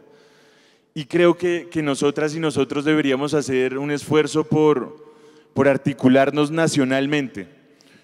Pero esa articulación tiene que ser real, si no, se vuelve una articulación un tanto burocrática a veces. Tiene que darse de, de abajo arriba, en las ciudades de- del barrio a la localidad y de la localidad a la ciudad y de la ciudad a la región, para, para llegar a lo nacional, de la vereda a la cabecera municipal al departamento. Creo, creo que es fundamental, sobre todo para reflexionar experiencias. La educación popular le da un lugar y una centralidad a la experiencia como un lugar de reflexión. Obviamente la pedagogía también. Hay que leer, hay que, hay que dialogar con otros enfoques, con otras propuestas, con otros discursos, pero también seguir rescatando el lugar que tienen las prácticas y las experiencias para fortalecer y enriquecer otras experiencias. Y yo, yo creo que, que la apuesta que se está haciendo en, en, en Cali, en Cauca, lo que nos narran acá, es muy, muy, muy importante. Vemos cuando, cuando, cuando se lee el comunicado que no es una organización, son 19 organizaciones participando de un proceso de encuentro y de intercambio, de fortalecimiento, enriquecimiento, reencuentro, que, que resulta vital y fundamental para, para lo que estamos haciendo. Un tercer aprendizaje que, que considero muy importante de todo lo que nos contaron acá hoy es la importancia de ejercer el poder en espacios formales y no formales. Creo que, que esto es algo que se viene reflexionando en la educación popular de tiempo atrás. No, no es algo tan reciente. Y al, al ubicar las relaciones de poder como un elemento central de las prácticas educativas, se reconoce la importancia de dar las luchas en ambos espacios. Yo creo que eso es vital. Acá, acá nos presentan propuestas de escuela, escuela alternativa, universidad alternativa. Es muy importante que, reconozcamos esa, mutua incidencia que se puede hacer, porque ayuda a fortalecer lo que hacemos en el territorio, esa, relación entre, lo formal y lo no formal, esa vinculación entre escuela y comunidad, al mismo tiempo que la universidad con, investigación y con desarrollos que se dan dentro de ella ayuda a fortalecer a la educación popular. Yo creo que ahí, ahí es claro lo que planteaba ahora Alejandra al final. Esa mutua relación para que salgamos mutuamente fortalecidos y fortalecidas, tanto quienes trabajamos en barrios como quienes trabajamos en la universidad. Yo creo que ese diálogo es fundamental y, y hay que profundizarlo y es uno de los retos que tenemos hoy en día. Un cuarto elemento, la, la importancia de realizar propuestas educativas de carácter alternativo, crítico, que trasciendan el aula. Y acá es un límite estructural que muchas veces tenemos maestras y maestros, o sea, nos la jugamos en, en escenarios donde hay límites estructurales para realizar prácticas alternativas y las sinergias de las instituciones muchas veces dificultan la labor crítica. Cuando yo logro trascender el aula y llegar a, espacios más amplios, con la articulación con otras maestras y maestros, con el agenciamiento de, de escuelas, universidades, o sea, otras prácticas que plantean otros retos y se juegan desde otras intencionalidades y horizontes de sentido, la acción de innovar llega más lejos, va un poco más allá. Y creo que ahí lo que muestran las compañeras y los compañeros del Cauca es muy importante y diciente frente, frente a los aprendizajes que tenemos que retomar y multiplicar en otros contextos de nuestro territorio. Un quinto elemento, la importancia de incidir y participar en distintos ámbitos de la lucha social. Yo, yo creo que eso es fundamental y creo que es una apuesta que ha tenido la educación popular en los últimos 25 años, en las políticas públicas, ¿cierto? Encontrar que ahí también hay un espacio de lucha, que ahí también se ejerce poder y que de ahí se definen derroteros en los territorios, en las escuelas, en las universidades y que es un espacio de lucha que es vital afrontar. Las cárceles, ¿cierto? O sea, es, es difícil trabajar en una cárcel. Cuando yo, o sea, Quique es, lo considero un gran amigo mío. Cuando un día él me iba llevando a la casa y me, me contaba lo que estaba haciendo, yo decía, qué difícil hacer, hacer educación de carácter alternativo en una cárcel, porque la cárcel en sí misma es una educadora, pero una educadora muy perversa que está penetrando la cotidianidad de la vida de quienes, por problemas en la socialización con otros seres humanos, por nacer en contextos de dificultad donde se condenan a unos mientras se permiten a otros, terminan siendo excluidos y marginados del resto de la, de la sociedad. Y esas redes que se dan en la cárcel son muy complicadas. Yo creo que, que la lucha que deberíamos dar es porque no existan las cárceles, pero mientras existan está muy bien incidir en ellas y llegar hasta, hasta lo más lejos que podamos, entendiendo que la sola acción educativa no transforma nada, pero que sin la educación tampoco es posible agenciar cambios. Las escuelas, las universidades, el barrio, y en, en eso es importante mantener el lugar del territorio. Si bien yo, yo, yo también hice eso, o sea, cuando yo tenía 18 años me fui al barrio más apartado, al, al, más pobre, el que quedara más arriba, porque, porque había esa idea que allá era donde se hacía un trabajo más real. Me parece importante esa reflexión y ese cambio en, en la perspectiva que, que, se está teniendo hoy en día, pero, pero el territorio sigue siendo importante. Y hacer trabajo con los sectores populares, los sectores populares no son solamente las más y los más marginados de la sociedad Popular abarca una expresión muy amplia de sectores diversos en distintos contextos y lugares, pero, pero creo que sigue siendo un lugar importante y para la juventud un lugar de aprendizajes significativos. El, ir al, al barrio, el, estar en el territorio es, una apuesta significativa, ampliamente formativa tanto para quien va como para la gente que, tiene la oportunidad de construir y dialogar desde otro lugar de enunciación. Y un sexto elemento que, rescato de, todo lo que nos contaron hoy acá las y los compañeros en estas cinco experiencias. Y específicamente esto, esto tiene que ver con, con la coordinadora la importancia de los preuniversitarios y preicfes populares. Yo como educador popular que está trabajando en la universidad, en los últimos cinco años, acá en Bogotá al menos, he visto la proliferación de diversos procesos que hacen preuniversitarios y preicfes popular, desde distintas tendencias políticas, de distintas maneras y en distintos lugares. Yo creo que, que así como en los 80, la alfabetización, se leía como, como uno de los factores que impedían la inclusión de un sector de la población a la lectura de la palabra y la lectura del mundo, hoy se reconoce que, que la, el, el, el, no acceso a la universidad, la exclusión sistemática a la universidad, es un factor que está impidiendo la realización de la equidad en nuestro país. Yo creo que es muy, muy importante lo que, lo que hacen las y los muchachos que participan en, los preuniversitarios populares están haciendo la extensión solidaria que a veces no hace la universidad pública, que en una lógica de restricción de recursos tiende a, a reducir, no en todos los casos, la extensión a la venta de servicios para poder financiar la universidad. Creo que, que, las y los muchachos que realizan preuniversitarios merecen un fuerte aplauso porque están haciendo algo muy, muy, muy importante.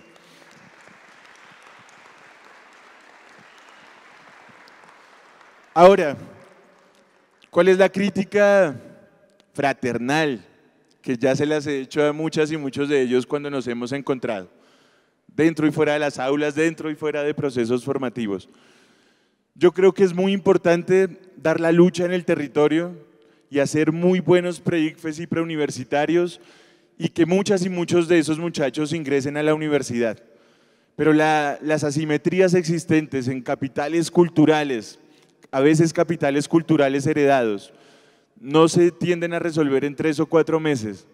Y eso pasa por una lucha dentro de la universidad por cambiar la composición de ingreso. a nuestras universidades, especialmente las universidades públicas, tienen que ingresar de manera más democrática las mujeres, los afros, los indígenas, las personas en situación de discapacidad. Y ahí tiene que haber criterios diferenciales de ingreso en los exámenes que, se hacen. Y eso es algo que tenemos que pensar. Y esa lucha hay que darla dentro de la universidad porque lo que hay que cambiar es la universidad. Lo que nos muestran los predicfes y preuniversitarios populares que agencian las y los estudiantes de las universidades públicas es que algo está mal con la forma como están ingresando y como la forma en que se seleccionan a las sujetas y los sujetos que deben participar en la universidad. Yo creo que eso es algo muy importante. Creo que hay que agotar vías, creo que hay que hacer sistematizaciones. ¿Cuánta gente de la que se presenta, de la que participa en los procesos termina pasando? Ahí tenemos que hacer ajustes metodológicos de contenidos, pero creo que, que la lucha está por otro lado. Y creo que es vital y fundamental que de estos procesos resultaran tanto acciones legales como, como acudir a las vías de hecho. Lo digo como profesor universitario. Una toma de las rectorías, una acción con sentido que muestre lo que está sucediendo en nuestro país.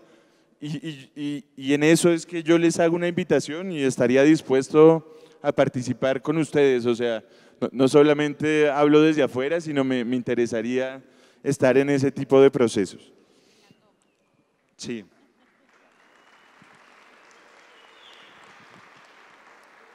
¿Cuáles son los retos? Ya, ya para concluir, para no no cansarlas y cansarlos.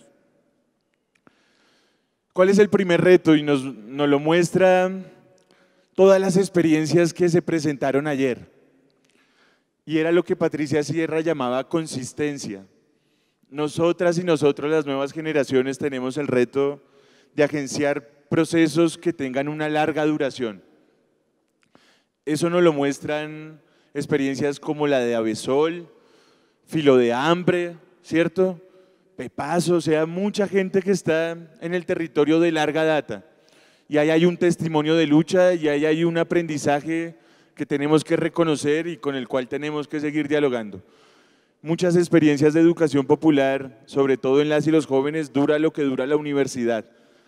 Y en eso, o sea, aunque hay que repensar a Camilo Torres de manera crítica, sí es verdad que, que tendemos a transitar de la rebeldía al conformismo y que eso se da con la proximidad de la titulación.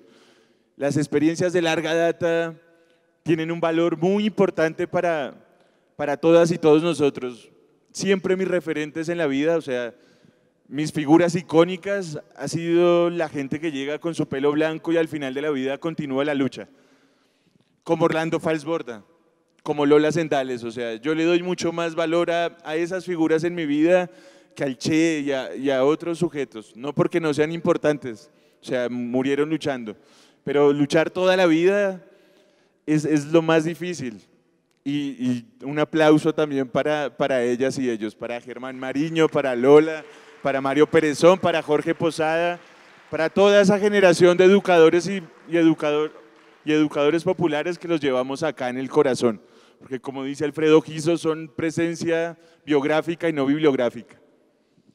Un segundo elemento, un segundo reto.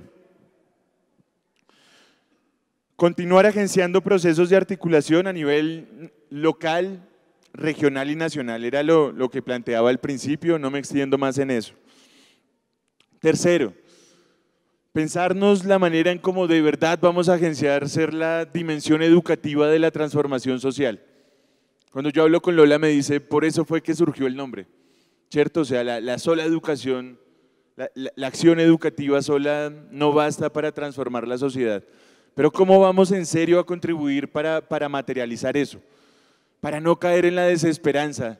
Lo que planteaba ayer Alfredo Giso cuando decía, a veces caemos en la desesperanza cuando vemos las lecturas que la sociedad tiene frente a problemas como las cartillas que pone el Ministerio de Educación Nacional.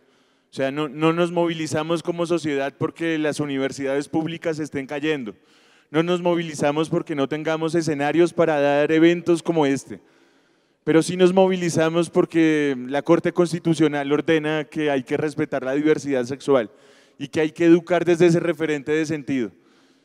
¿Cómo hacer para, para, para que esta generación que no se está jugando en el escenario de la guerra, que no va a formar sujetas y sujetos para la guerra, sea una alternativa de cambio para el conjunto de la sociedad?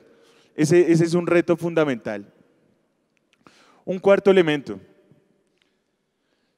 y en esto retomo las palabras que decía ayer Marco Raúl Mejía. Yo, yo sí creo que es fundamental rescatar la importancia que tiene la cotidianidad, la fiesta y el carnaval en los procesos formativos. Y si desde la educación popular tenemos un criterio amplio de lo que es educación, no hay nada más formativo que lo que se da fuera del aula también.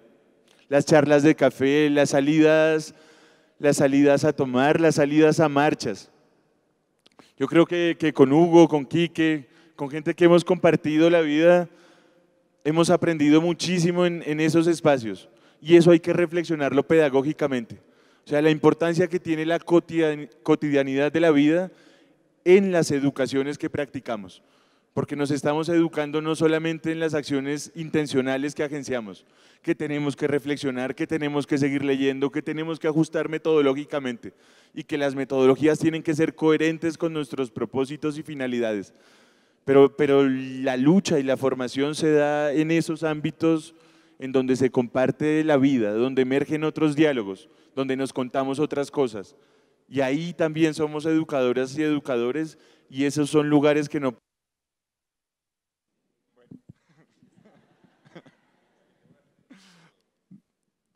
Perdón. Un cuarto, un cuarto elemento en esto, y, lo planteaban hoy acá, una pedagogía de la indignación.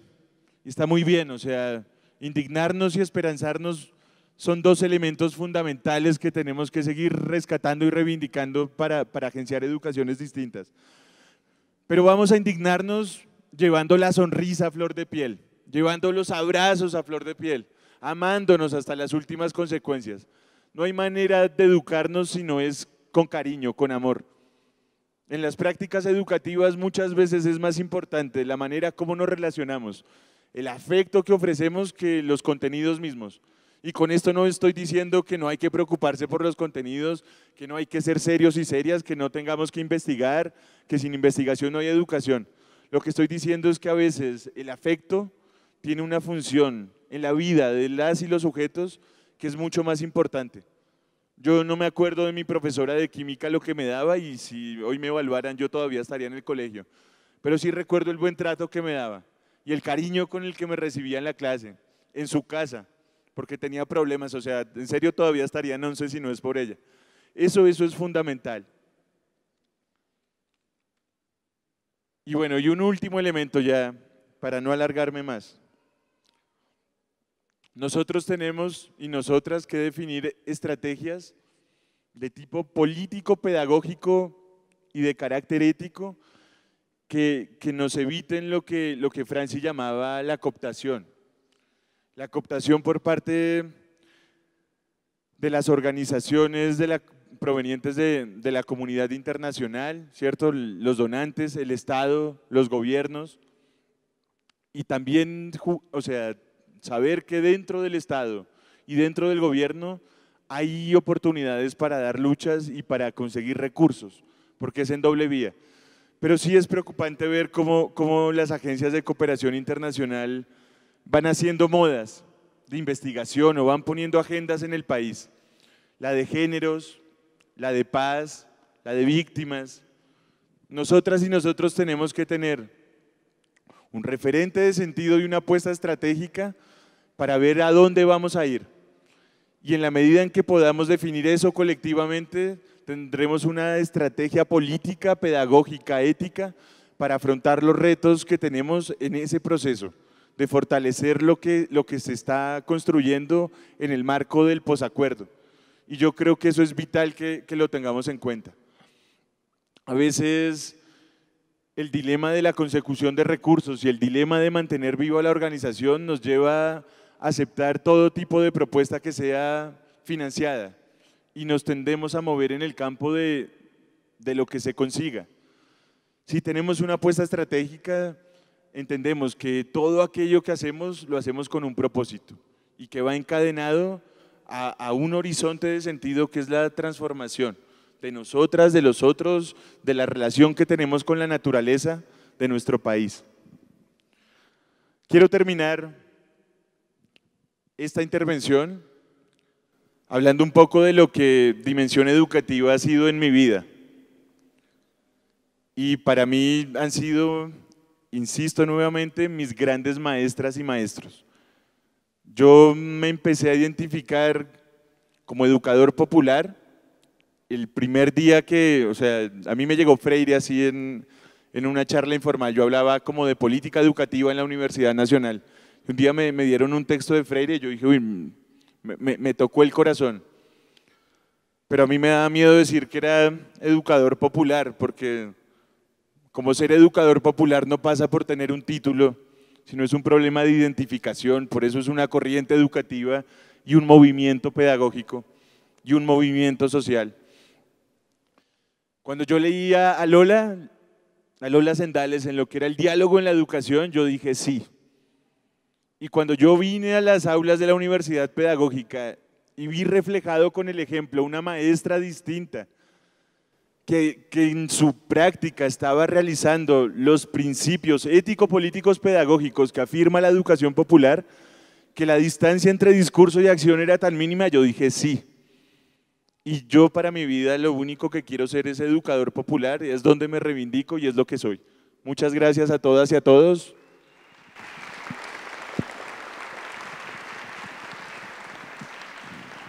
Gracias. Gracias Santiago, gracias los compañeros y compañeras que hicieron la presentación. La idea es que tengamos unos 15 minutitos de aquí a las 20 minutos, de aquí a las 12 y 15, pues también para que si hay personas que quieran comentar o preguntar algo a los que están aquí eh, frente a nosotros. Eh, también queremos insistir, vamos hoy precisamente a, terminar relativamente temprano, 12 y cuarto, para que tengamos el tiempo suficiente de llegar todos puntualmente a las 2 que es el plato fuerte de la jornada, que es la conversación con Lola, Mario, Germán y los otros colegas de Dimensión, y también el lugar de los homenajes, de las cartas, de los, eh, lo que habíamos sugerido ayer, que si ah, trajeron algún objeto, alguna foto, algo simbólico ligado pues o a esta larga historia de la educación popular o a su relación con Dimensión, pues vamos a, buscar un momento para ello. Entonces, tienen la palabra, también algunas personas querían presentar alguna Sí, eh. entonces, una vez, entonces vamos a dar la palabra, si la compañera, compañero dos, compañero tres, por arriba las, aquí no hay nadie arriba, cuatro, van a ser cinco, y el compañero cinco y bueno, y seis, porque no hay, no hay límites. Bueno, buenas tardes o buenos días, compañeras y compañeros. Mi nombre es Flori Hernández, eh, yo soy engendro del profesor maestro Alfredo Guizo y la maestra Viviana Ospina. Para quienes no me han notado la arepa en el acento, yo soy de Medellín también. Pertenezco a la Universidad de Antioquia, soy egresada de Trabajo Social. Y ayer en un recorrido que hacía por la, el Museo de la Policía, eh, me encontré sorpresivamente, me dio indignación y dolor, pero quisiera compartir con ustedes, esa fue la imagen y si lo podemos ampliar, ahí está la imagen del profesor Miguel Ángel Beltrán. Eh, lo están presentando allí como una de las principales capturas del intercambio de información. Eh, se comparte en el cuadro con la imagen de jefes guerrilleros abatidos y me causó mucha sorpresa porque cuando yo le pregunté al guía que quién era ese señor, que por qué estaba ahí, le tocó la cara y dijo, aquí hay unas imágenes de las que nosotros no tenemos información porque no son eh, informaciones confirmadas, no son, hay unas que son mentira. Entonces, de este señor es una de ellas y nosotros no podemos confirmar eso. Yo no les sabría decir el por qué está acá. Entonces yo quería, como a nombre de la libertad, que como acto simbólico de hermandad nos tomáramos las manos, nos levantáramos y diéramos un grito en este momento de libertad y de apoyo. Entonces yo les pido a todos mis compañeros que nos cojamos de las manos, nos paremos porque el- el- la represión y la idea que tienen de eh, anestesiar la expansión del pensamiento crítico latinoamericano es, es una lucha ideológica que la tratan de, de reprimir y de callar de todas las maneras. Entonces, a nombre de Libertad, yo pido un viva por el profesor Miguel Ángel Beltrán. ¡Viva! ¡Viva! ¡Viva! El pensamiento crítico no es terrorismo. Un, acto de presente por el profesor Paulo Freire. Presente, presente, presente. Por el profesor Orlando Falsborda. Presente, presente, presente. Por Jaime Garzón. Presente, presente, presente. Por el profesor Mario Acevedo. Presente, presente, presente. Por Camilo Torres y por todos, por Dimensión Educativa. Presente, presente, presente. Viva la lucha del pensamiento crítico latinoamericano. Gracias. Para, por si hay algún compañero o compañera que no sabe quién es el profesor Miguel Ángel Beltrán, él es un profesor licenciado en Ciencias Sociales y sociólogo, profesor universitario, muy formado y comprometido en estos procesos y que estando haciendo su estancia postdoctoral en México fue secuestrado por la policía mexicana y entregado, eh, traído como un delincuente a, Colombia sin dar ninguna eh, explicación a su familia, a su compañera que estaba con ellos. Y una vez acá fue presentado por el presidente Uribe como si fuera el enlace internacional de las FARC, sin serlo. Entonces, eh, tenemos que estar muy pendientes. Él está detenido en este momento en, la picota. Y pues eh, también ojalá podamos sacar de acá alguna nota, también eh, denunciando una vez más este acto de injusticia y exigiendo pues su libertad inmediata. Gracias. Eh, tenía la palabra por acá otros colegas. ¿Quién había pedido la palabra por acá? Compañero. Eh, buenos días.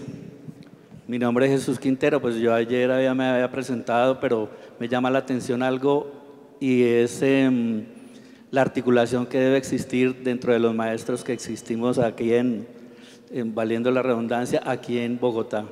Yo he escuchado alguna experiencia sobre lo que hacían algunos maestros en el Redentor. Soy licenciado en Pedagogía Reeducativa y em, precisamente de la Luisa Amigó y vengo en esa lucha hace más de 30 años, yo creo. Y es trabajando por la reivindicación de los derechos de estos jóvenes. Y es triste, como decían algunos de ellos, que estos muchachos jóvenes, y yo diría que eh, con la experiencia que también tuve en el IDIPRON, donde hay niños consumidores de sustancias desde los, desde los seis años y estas instituciones a veces, en lugar de reivindicar esos derechos, lo que hacen es un maltrato muy grande. Entonces, cuando conocemos nosotros esas realidades, cuando uno dice la lucha que se hace, eh, y a veces pareciera que uno lo hace solo, vemos que hay algunas otras personas que están haciendo ese trabajo y que uno las desconoce precisamente porque estos espacios hasta ahora se, está, se están dando. Qué importante este espacio cuando la universidad abre sus puertas a, a la comunidad.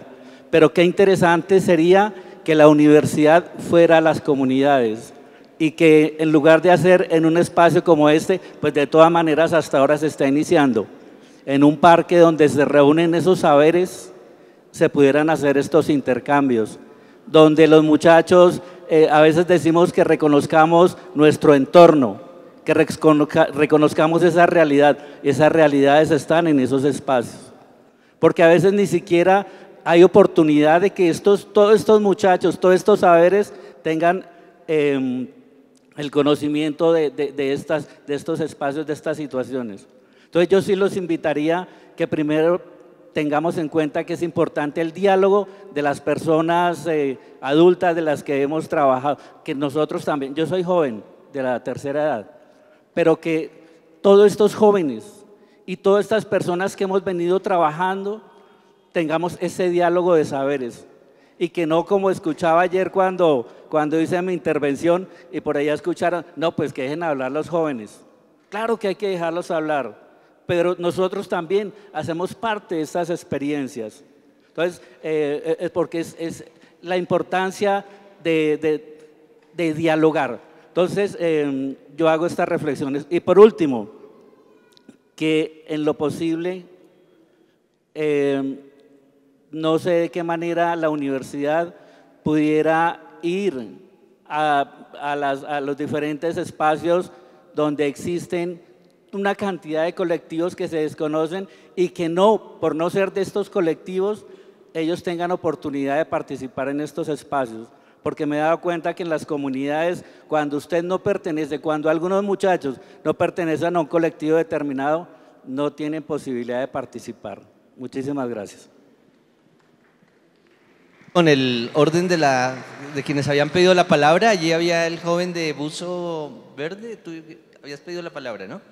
Y luego el compañero. Ay, por acá. Primero acá que eh, habían pedido la palabra. Muy buenos días. Eh, primero que todo, agradecer la organización de este evento y sobre todo y de todo corazón agradecerle a las personas que han compartido con nosotros y nosotras sus experiencias. En serio, esto es muy, muy valioso. Yo tengo una preocupación, es que estaba viendo la programación y no veo un espacio para tratar de discutir o aclarar algo que eh, eh, plantearon los compañeros y las compañeras de la coordinadora en lucha al final de su presentación, y es la necesidad de la articulación.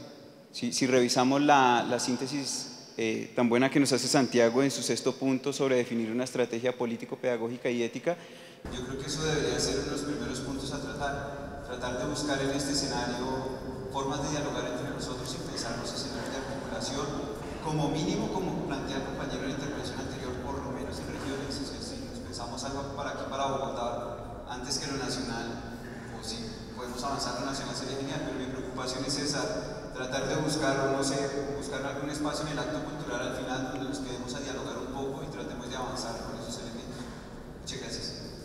Hace seis años hubo un intento que era también un encuentro así un poco informal, que fue creciendo, fue creciendo. Eh, llegaron los compañeros y compañeras de Cali, de Medellín, eh, y pues empezamos a proyectarnos en una coordinación. De ahí nació, podríamos decir, la red de Cali. Eh, y los de Bogotá, pues por ahí se nos fue perdiendo en el camino la red que estábamos construyendo, entonces es muy buena la iniciativa de que al final de la jornada pues podamos encontrarnos los interesados en como iniciar de pronto una convocatoria para hacerlo. Hay algunos escenarios claves para, los que no conocen, eh, los compañeros del colectivo de educadores de la Universidad del Cauca, el grupo de, educación popular de la, Universidad del Cauca y ASOINCA organizan eh, un encuentro de educadores y educadores populares con eh, periodicidad que también cada vez ha ido creciendo, los últimos ya superan 1.500 personas, 1.800 personas, entonces es un escenario y un referente con el que habría que contar ya en una proyección nacional. Entonces, seguimos con el uso de la palabra. Nos falta uno, dos y tú. Qué, qué pena que ella seguía. Yo tengo mala memoria. Creo que ya después ahora sí. Buenos días, muchas gracias. Yo quiero también agradecer la oportunidad de estar aquí, la invitación del profesor Torres, pero la iniciativa de las personas que organizaron este evento porque pues yo llevo, creo que toda mi vida cerca de la educación popular. Yo, bueno, mi nombre es Julieta Barbosa, yo soy abogada de profesión, especialista en derechos humanos, soy de militancia feminista y soy educadora popular desde que era una adolescente. Eh, pero no soy académica, nunca he tenido un proceso de formación en la educación popular, sino que yo me hice de cierta manera como le ocurrió a la compañera de la coordinadora de procesos de educación popular en Medellín, em, de la corporación Convivamos, perdón, de Medellín, y, y es que yo soy de alguna manera producto del trabajo de la red de educación popular entre mujeres aquí en Bogotá. Y ahí fue donde aprendí sobre educación popular y donde eh, me involucré en la tarea de la educación popular. Lo que yo quiero manifestar es eh, que este evento genera en mí una gran esperanza, porque en los años de vida que tengo son muchos los momentos de desesperanza y justamente este actual momento que vive nuestro país es un momento que eh, es más de desesperanza que de cualquier otra cosa. Entonces ver a la gente joven, a los y las jóvenes haciendo este trabajo, a los chicos y las chicas de En Lucha en Bogotá y a los chicos y las chicas de, de Medellín, es realmente esperanzador, es darse cuenta de que lo que han hecho unas personas antes que nosotros, lo que hemos hecho otras personas, tiene realmente un fruto y tiene futuro también en este presente que están viviendo ustedes como jóvenes. Muchas gracias.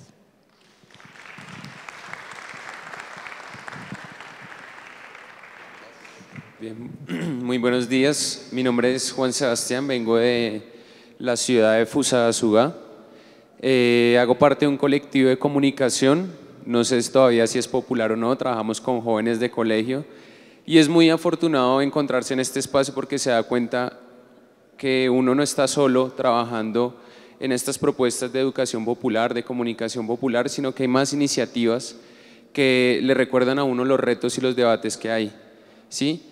Eh, creo que una de mis preguntas, más que un aporte, es una pregunta a los compañeros eh, que trabajan con jóvenes y pues desde luego a, las otras personas que también trabajan con las culturas urbanas, eh, los jóvenes urbanos de la cultura hip hop, es cómo se ha venido asumiendo desde los procesos de educación popular el joven que hoy está tan mediado por las tecnologías y que ha empezado desde esas mediaciones a replantear un poco sus formas de relacionarse y las formas de relacionarse que han perdido un poco el carácter que se ha venido enfatizando acá y es desde la moracidad, desde la solidaridad, una serie de valores que se han perdido porque se han virtualizado. La virtualidad nos ha quitado un poco ese sentido humano y de ahí mi preocupación, cómo asumir ese reto no solo de apropiarse de las tecnologías, sino desde esa apropiación empezar a replantear y recuperar, como decía ayer Guiso, eh, resignificar el pasado y el presente, y el presente que tenemos hoy es un presente que para mí es un poco agudo por la cuestión de que con la invención de las tecnologías, de la globalización y demás, eh, es más difícil construir, construir tejido, construir solidaridades con, con una población joven. Entonces, esa es mi pregunta, ¿no? ¿Cómo se ha venido asumiendo ese reto con, con los jóvenes?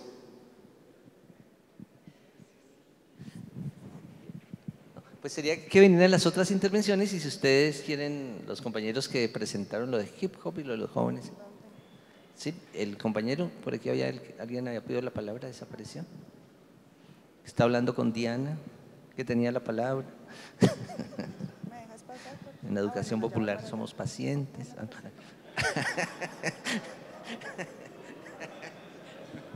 Muchas gracias por la paciencia. Eh, también eh, agradecer, unirme a este, a este espacio. Eh, mi nombre es Andrés Riveros, yo trabajo con La Salle en un proyecto en un barrio en Villavicencio que se llama La Reliquia. Es un barrio vulnerable y ahí hay una escuela de educación popular. más allá, digamos, de mi aporte, también tenía como dos, dos inquietudes. La primera me interesa mucho estos procesos en que un docente popular se construye. Y pues creo que casi todos sabemos que eh, los desafíos, lo que encontramos en cada uno de estos contextos en los que nos permite pues construirnos de alguna manera como docentes populares. Pero hay una cosa que tiene que ver más con la identidad, como con las apuestas personales de cada uno, que también empiezan a, como a circular en esta construcción. No sé si eso, que a veces es como tan personal, tan, tan como tan interior, digamos, de cada persona, pues cómo se puede acompañar, cómo se puede formar. Porque a veces pues la misma continuidad de los proyectos depende de que las personas digan, sí, yo le apuesto a esto y hago una opción de vida pues en, este, en esta cuestión. Entonces, la, como la primera inquietud. La segunda, muy concreta, eh, aquí se ha puesto la, la cuestión de que la educación popular no solamente responde a contextos, digamos, vulnerables, que pueden haber otros escenarios. Eh, no sé si pudiéramos ampliar esa, digamos, esa afirmación y si hay experiencias en esos ambientes no populares o no vulnerables eh, que, que se puedan catalogar como educación popular.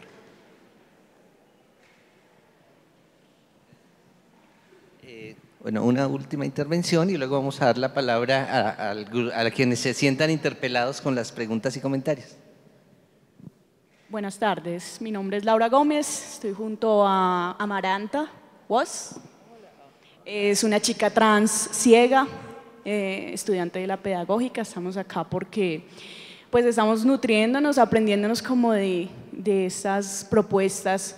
Ayer vieja guardia y hoy un poco más contemporáneo. Eh, sacando pues muchas ideas de acá, entusiasmándonos. Eh, el colectivo de Discapacidad Diversa Colombia se hace con el objetivo de- de identificar y buscar eh, identidades diversas de género, eh, orientación sexual en personas con discapacidad o capacidades diferenciadas. Eh, la idea es visibilizarnos, ¿sí? Eh, como decía Maranta ahorita caminando por la 72, no es fácil montarme en estos tacones y subir todo este asfalto, pues todo este cemento lleno de huecos. Entonces, ser una chica trans es de hecho muy complejo.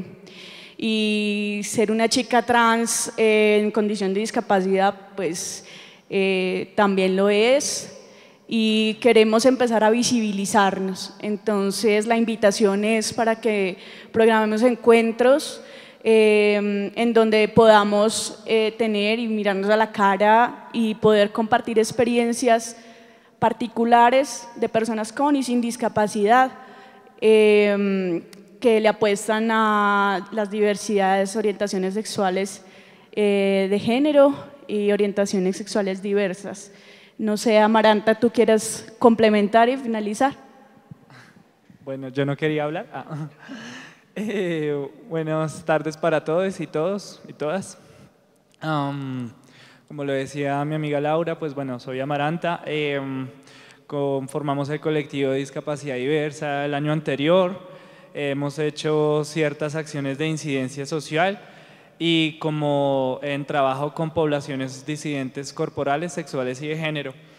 Eh, siento que, eh, como lo hablaban anteriormente, el hecho de que nuevas poblaciones que se están visibilizando eh, estén permeando esta educación popular hace un proceso más diverso, más rico y digamos eh, que precisamente estos, estas poblaciones vulneradas y, y- desde donde parte la educación popular se enriquezcan y también dentro de eh, estas poblaciones se disminuya la endodiscriminación y demás. Muchas gracias. Creo que con esta intervención eh, eh, es parte de la respuesta a la última pregunta.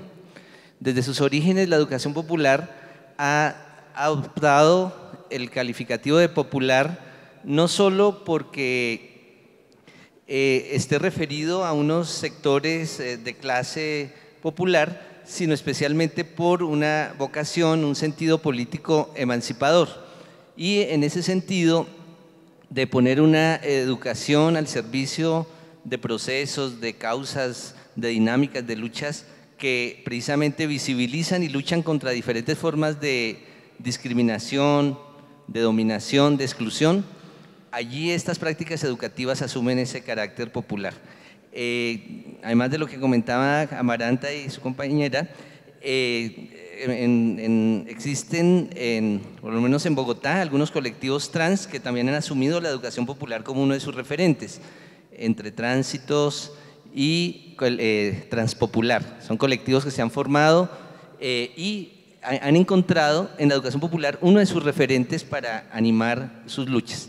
Y así eh, podríamos encontrar en, el campo ambiental, en el campo, o sea que Si bien es cierto que también hay una opción preferencial, podemos decir, en esa de- de- del trabajo con los sectores socialmente populares, lo popular está orientado también en ese sentido emancipador. Una última intervención del público y, voy a dejar aquí la- el micrófono ya a los compañeros de acá. Sí, sí, buena.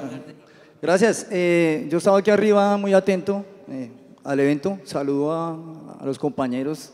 Varios de ellos hemos, nos hemos encontrado en varios espacios. Yo quiero hacer simplemente un llamado de pronto eh, a no perder de vista eh, que aquí todos so- somos maestros. Por algo el evento está en la pedagógica, nuestra casa. Yo soy de la distrital, pero esta es mi casa. Tengo la fortuna de estar en este momento estudiando la maestría en educación. Y por fortuna eh, somos, con mis compañeros de maestría, los últimos que tuvimos acceso a la maestría financiados por la anterior alcaldía de Gustavo Petro. ¿no?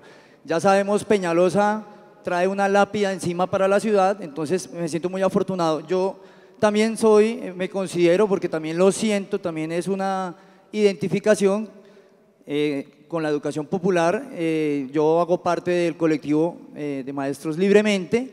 Empezamos también haciendo un proceso de educación popular, pero en este momento, y, y ese es el, el paréntesis que quiero hacer de pronto el llamado a todos, es no perder de vista la parte del sindicato. Eh, el sindicato que en esencia debería, debería tener un carácter también popular. ¿Listo? Un sindicato que fuera clasista. Y en este momento no quiero hablar de la ADE en Bogotá, voy a hablar a- a grosso modo aprovechando que los compañeros del Cauca precisamente en este momento están, están en una marcha solos, o sea, solos contra el mundo y contra el mundo quiero decir contra la federación, contra FECODE. FECODE sale diciendo que la evaluación del maestro, esta, este último concurso, como si con un video a mí me evaluaran y dijeran, no, este man es buen maestro, con un video, ¿no? E- Esa reflexión no la está tocando el sindicato y a mí me parece que, que un educador popular tampoco se puede alejar de la parte sindical, pero no el sindicato entreguista que tenemos ahorita, no, sino el guerrero, el, el- popular. Entonces, es un llamado de atención. Creo que los compañeros del Cauca tienen la fortuna de contar con una alianza con, con los compañeros de Azoinca, que es un ejemplo de lucha, y y lo están en ese momento precisamente, están marchando. Entonces, es simplemente a encontrarnos nuevamente con el sindicato, que también debería ser popular. Muchas gracias. ¿Listo? Eh, sí, no, no, yo no me molo mucho. No, solamente hay dos cosas. Lo último que la intervención del compañero. Ah, obviamente ha sido todo un trabajo de muchos años el podernos identificar dentro de los campos de lo popular. O sea, eso no tampoco ha sido eh, que ya llegamos y obviamente no. Ha sido un trabajo continuo de formación, de autoformación, de coformación, de lo que decían la chica a lo último, de todo un diálogo de conocimiento y saberes, de todo un reconocimiento, de toda una forma de, de- de apropiarnos nuestros propios conocimientos. Tal vez aquí Alfonso sabe todo lo que hicimos con, con, lo de la, con lo de la expedición pedagógica, el poder recoger todos los saberes ancestrales de nuestros indígenas, de nuestros afros, de nuestros campesinos.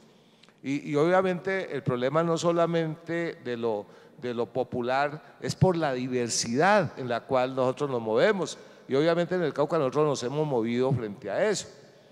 Y quisiera, quisiera responder, por ejemplo, algo que el compañero nos estaba planteando de Fusagasuga sobre lo que el manejo de las TICs, el manejo de todo lo que tiene que ver con la tecnología. Ustedes saben que el modelo es llevarle, ¿no? A todos. Yo he encontrado colegios en el departamento del Cauca en donde les han dotado con toda la tecnología, pero no hay señal. Hemos encontrado cosas como estas, en donde la mamá, para quitarse la molestia del niño de dos años, lo primero que le da es un, un, un celular o le compra una tablet. Y obviamente todo eso tiene que llevar a un tipo de reflexión y a un tipo de práctica para que cambiemos eso. ¿Qué hemos hecho nosotros, por ejemplo, en las escuelas? Le hemos dicho a los profesores que tienen la llave para abrir, ábrale- ábranos el, el- el salón de las TICs. Vamos a tratar de que los niños, las niñas, comiencen a producir todo un campo de saberes que traen desde su casa, que traen desde su comunidad. Por ejemplo, en el caso, recuerda Alfonso, en el trabajo de las tulpas. ¿Qué son las tulpas en nuestras comunidades indígenas? Es el fogón.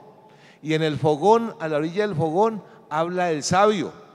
Y no es uno que tenga títulos de doctor, sino es la persona que por su práctica le puede enseñar a su comunidad todos los saberes que ellos tienen y que obviamente hoy vamos nosotros que nos lo están apropiando.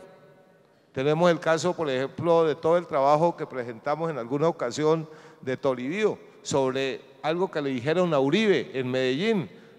Los chicos y las chicas y los niños le dijeron, señor presidente, le vamos a presentar la mata que sana, no la mata que mata, cuando tenía toda la propaganda de las matas que matan. Y entonces el niño le dijo, mire, la, marihuana para nuestros saberes, para nuestras comunidades sirve para todo esto. Todo lo que, enfermedades que serían. Y la, la coca sirve para todo esto. El tipo se quedó aterrado de oír niños que no superaban, jóvenes que no superaban los 15 años, haciendo todo un trabajo de nuestros saberes. Entonces, ¿qué hicimos? Todos esos, en lugar de estar utilizando la tecnología con los cuentos, con los juegos traídos de otra parte, le dijimos a los niños, vamos a utilizar eso y lo vamos a poner en las, en, las redes para que ustedes puedan ser oídos en otra parte y conocidos en otra parte. Entonces, también parte de la iniciativa del maestro, pero nos tocó también que los maestros se formen, que los maestros se autoformen que los maestros también se comuniquen porque tenemos un problema de comunicación, lo que tú decías. En ese campo, obviamente, es el trabajo que venimos haciendo. la compañera y el compañero que tuvieron que retirar porque tuvieron que viajar, de otras cosas, quedaron muy agradecidos también de venir porque les tocó viajar a Popayán ahorita a las 12. Entonces, es lo decíamos, nosotros hemos logrado articulaciones fundamentalmente con los maestros. Es nuestra base fundamental. Segundo, articulaciones con las organizaciones. Por ejemplo, yo estuve la semana pasada en todo el macizo con los, con los, con los campesinos del macizo, pero también estuve con los compañeros del CRIC, estuve con los compañeros que necesariamente tienen que ver con los indígenas y con, los, con las comunidades afro. Entonces, es cómo logramos acercar ese tipo de cosas y obviamente utilizar las tecnologías. Entonces, yo creo que es un trabajo que tenemos aquí muchos compañeros que somos de las universidades que tenemos que comenzarlos a trabajar, no solamente de, como dijo el compañero acá, en las maestrías, en los doctorados, eso, en las licenciaturas, sino desde abajo, desde los maestros que, como dice el compañero allá, están trabajando en las comunidades para que podamos tener un verdadero diálogo. Esa sería una de las respuestas que yo te, diría. Y nosotros vamos a tener cualquier cosa, pues tenemos ya las páginas a través de la universidad para que quien quiera conocer experiencias de este tipo, y de tipos que me he encontrado hoy también muy satisfactoriamente desde hace muchos años, pero hoy me he encontrado con todo el trabajo que estamos haciendo nosotros, nos encontramos con los chicos, nos encontramos con lo que tiene que ver con derechos, lo encontramos con lo que tiene que ver con la solidaridad alimentaria, nos encontramos bueno, con una cantidad de elementos que hoy nos encontramos. Entonces, eh, nos falta es un poco más de comunicación y algo que en cierta medida también lo decía ya aquí el compañero, nos estamos perdiendo, es que las universidades también ya no, no nos estamos perdiendo y no estamos logrando niveles de comunicación. Gracias. Bueno, pues con relación a esa pregunta en concreto, eh, digamos que los ejercicios que, que, que, hacemos desde la EPAO, como por ejemplo el diplomado Jaime Garzón o el trabajo en sistema de responsabilidad penal adolescente, se constituyen en una forma de medirle el pulso a lo que significa la organización juvenil y lo que significa la construcción de esa subjetividad juvenil. ¿sí? Y dentro de ellos, pues, digamos, en lo personal, yo ayer tuve que hacer 10.000 llamadas para poder descomprimir un archivo de 20 fotos que habían llegado, porque no tengo ni idea. Pero que uno tenga una limitación personal no significa que el proceso no tenga, que, no tenga la capacidad de leer la importancia central que tiene el uso de las tecnologías en la construcción de subjetividades y en la construcción de procesos juveniles. En ese orden de ideas, para nosotros, digamos, las tecnologías pues se constituyen en una... Los mecánicos, los que hemos tenido alguna experiencia con la mecánica, le llamamos llave expansiva o pico el oro. Eh, cuando yo era chino, en la bicicleta había una llave que se llamaba las siete huecos. Entonces eso tiene diferentes dimensiones para poder aflojar o simplemente se abre o se cierra la llave expansiva. Eso más o menos constituye la tecnología de la construcción de, de subjetividades juveniles, una herramienta central en el proceso formativo. ¿sí? Y se da a través, digamos, de construir referentes por todo lo que se puede navegar, por todo lo que se puede conseguir, referentes alternativos que enriquezcan esa subjetividad para, digamos, presentarle otro tipo de referentes a una subjetividad que lo que nos está ofreciendo el sistema es absolutamente empobrecida. Entonces, básicamente, básicamente, digamos, esa es nuestra idea, la aplicamos. En el caso del Redentor, por ejemplo, tenemos un proceso centro de interés que se llama Stop Motion, cine animado, en donde los pelados hacen películas de cine animado, por ahí chévere en algún momento poder rodar el cortico que tenemos. Y también trabajamos tecnologías, digamos, en la música a partir de mezclas. Fundamentalmente eso quería decir al respecto.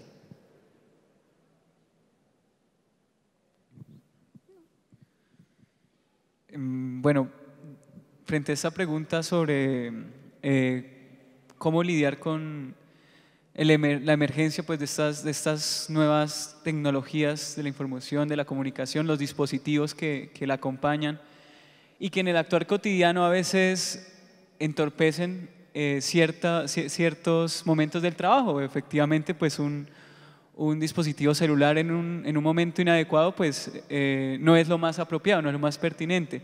Quizá desde algo así como tan cotidiano es, es a lo que nos referíamos cuando hablábamos de retos. Eh, evidentemente no vamos a pedir celulares a la entrada, al ingreso de una actividad o algo así, eso, eso no, no, no, nos, conviene, no nos conviene, pero Frente a eso creo que hay, hay algo que decía Martín Barbero y, me parece bien importante, él habla de un movimiento doble e imbricado para sustituir eh, el modelo de secuencia lineal, para cambiarlo hacia otro descentrado y plural. En esa medida tenemos un reto pedagógico. Evidentemente tienen los medios, nuestra, nuestra, nuestras herramientas metodológicas y pedagógicas eh, en comunión pues van a ser lo suficientemente fuertes para que eh, vayamos más allá de, la desconexión que pueden provocar y, ¿por qué no?, aprender a aprovecharlas para que se pueda también intensificar el vínculo del aprendizaje. Eh, y por otro lado, eh, el carácter emancipatorio y, eminentemente político que esto implica, cómo aprender los códigos, y era lo que nos referíamos con la alfabetización, cómo aprender y apropiarnos de esos lenguajes que tienen tanta potencialidad, aprender a programar, aprender a, usar otros métodos libres, salirnos de, los, de, los, de los modelos eh, privativos, llámese Windows, llámese Gmail, llámese todas estas plataformas para las cuales hay un, sustituto. Y pues necesitamos empezar y obviamente es un camino largo de alfabetización de personas adultas, de nosotras mismas, entonces creemos que es un reto bien importante que debemos asumir y, pues más allá, digamos, de la, del lamento moralista del proyecto ético, que a veces es algo que es como, ah, no, esto va a ser alienante, sino no creemos que pues, necesariamente va a ser alienante, en tanto lo tomemos desde una perspectiva política, liberadora, emancipadora, como es el carácter de nuestras prácticas educativas.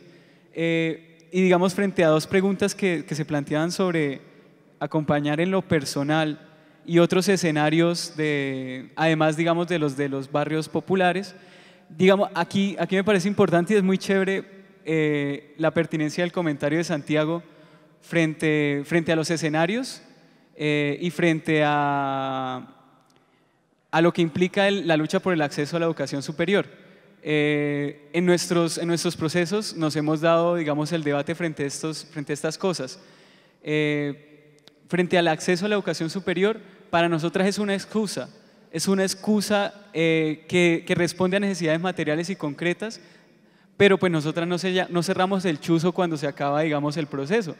eh, estamos buscando los mecanismos y, en y, en muchos procesos, en muchos colectivos de la Cordi, se, se hace un trabajo continuo en las universidades, eh, pues para también desde allí pues continuar, continuar el proceso y es sumamente importante y en, y en el sentido de la articulación que otro compañero por acá lo, lo, lo decía, eh, creemos que también esa lucha por, por, por, una diferenciación en cuanto al pago de, de pines, en cuanto a, a porcentaje de, de, acceso, en cuanto al cambio en los, en los modelos de examen, eh, que son sumamente excluyentes y, y, trágicos en este momento, es algo que podemos lograr, pero necesitamos una, una eh, efectiva articulación eh, y un movimiento social que nos respalde para, para esa lucha. Entonces, digamos, frente al acceso, pues una excusa y de ahí, pues como más o menos tratamos de exponer, emergen una cantidad de apuestas políticas y de campos sobre los cuales también trabajar. Y frente a otros escenarios, desde la coordinadora, y pues ahí como una cuñita, esta es la, este año se hace la cuarta jornada de educación popular, las cuartas escuelas de educación popular, eh, de nuevas educadoras populares, es el nombre, cuartas, ENEP.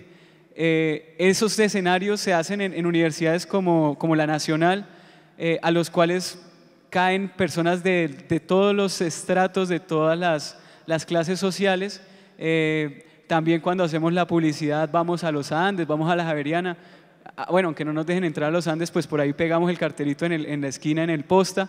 Eh, y nos parecen que esos son nuestros escenarios en los que también se, se, se ha, hemos intentado acercarnos al, al, al trabajo de la educación popular pero digamos que en nuestros barrios pues no, no hacemos un ejercicio eh, de, de, de, asistencialismo en la medida en la que no nos vamos a visitarlos. Nos, nosotras vivimos ahí, eh, nos, nos, nos, criamos ahí, tenemos experiencias muy, muy enriquecedoras como las de Rima Rojinegra, educandas que se convierten en educadoras. Y, y, en, y en, personas con, con una, una, propuesta eh, artística bastante interesante. Entonces, eh, esos escenarios de, de disputa cotidianos están un poco más allá de la visita del fin de semana.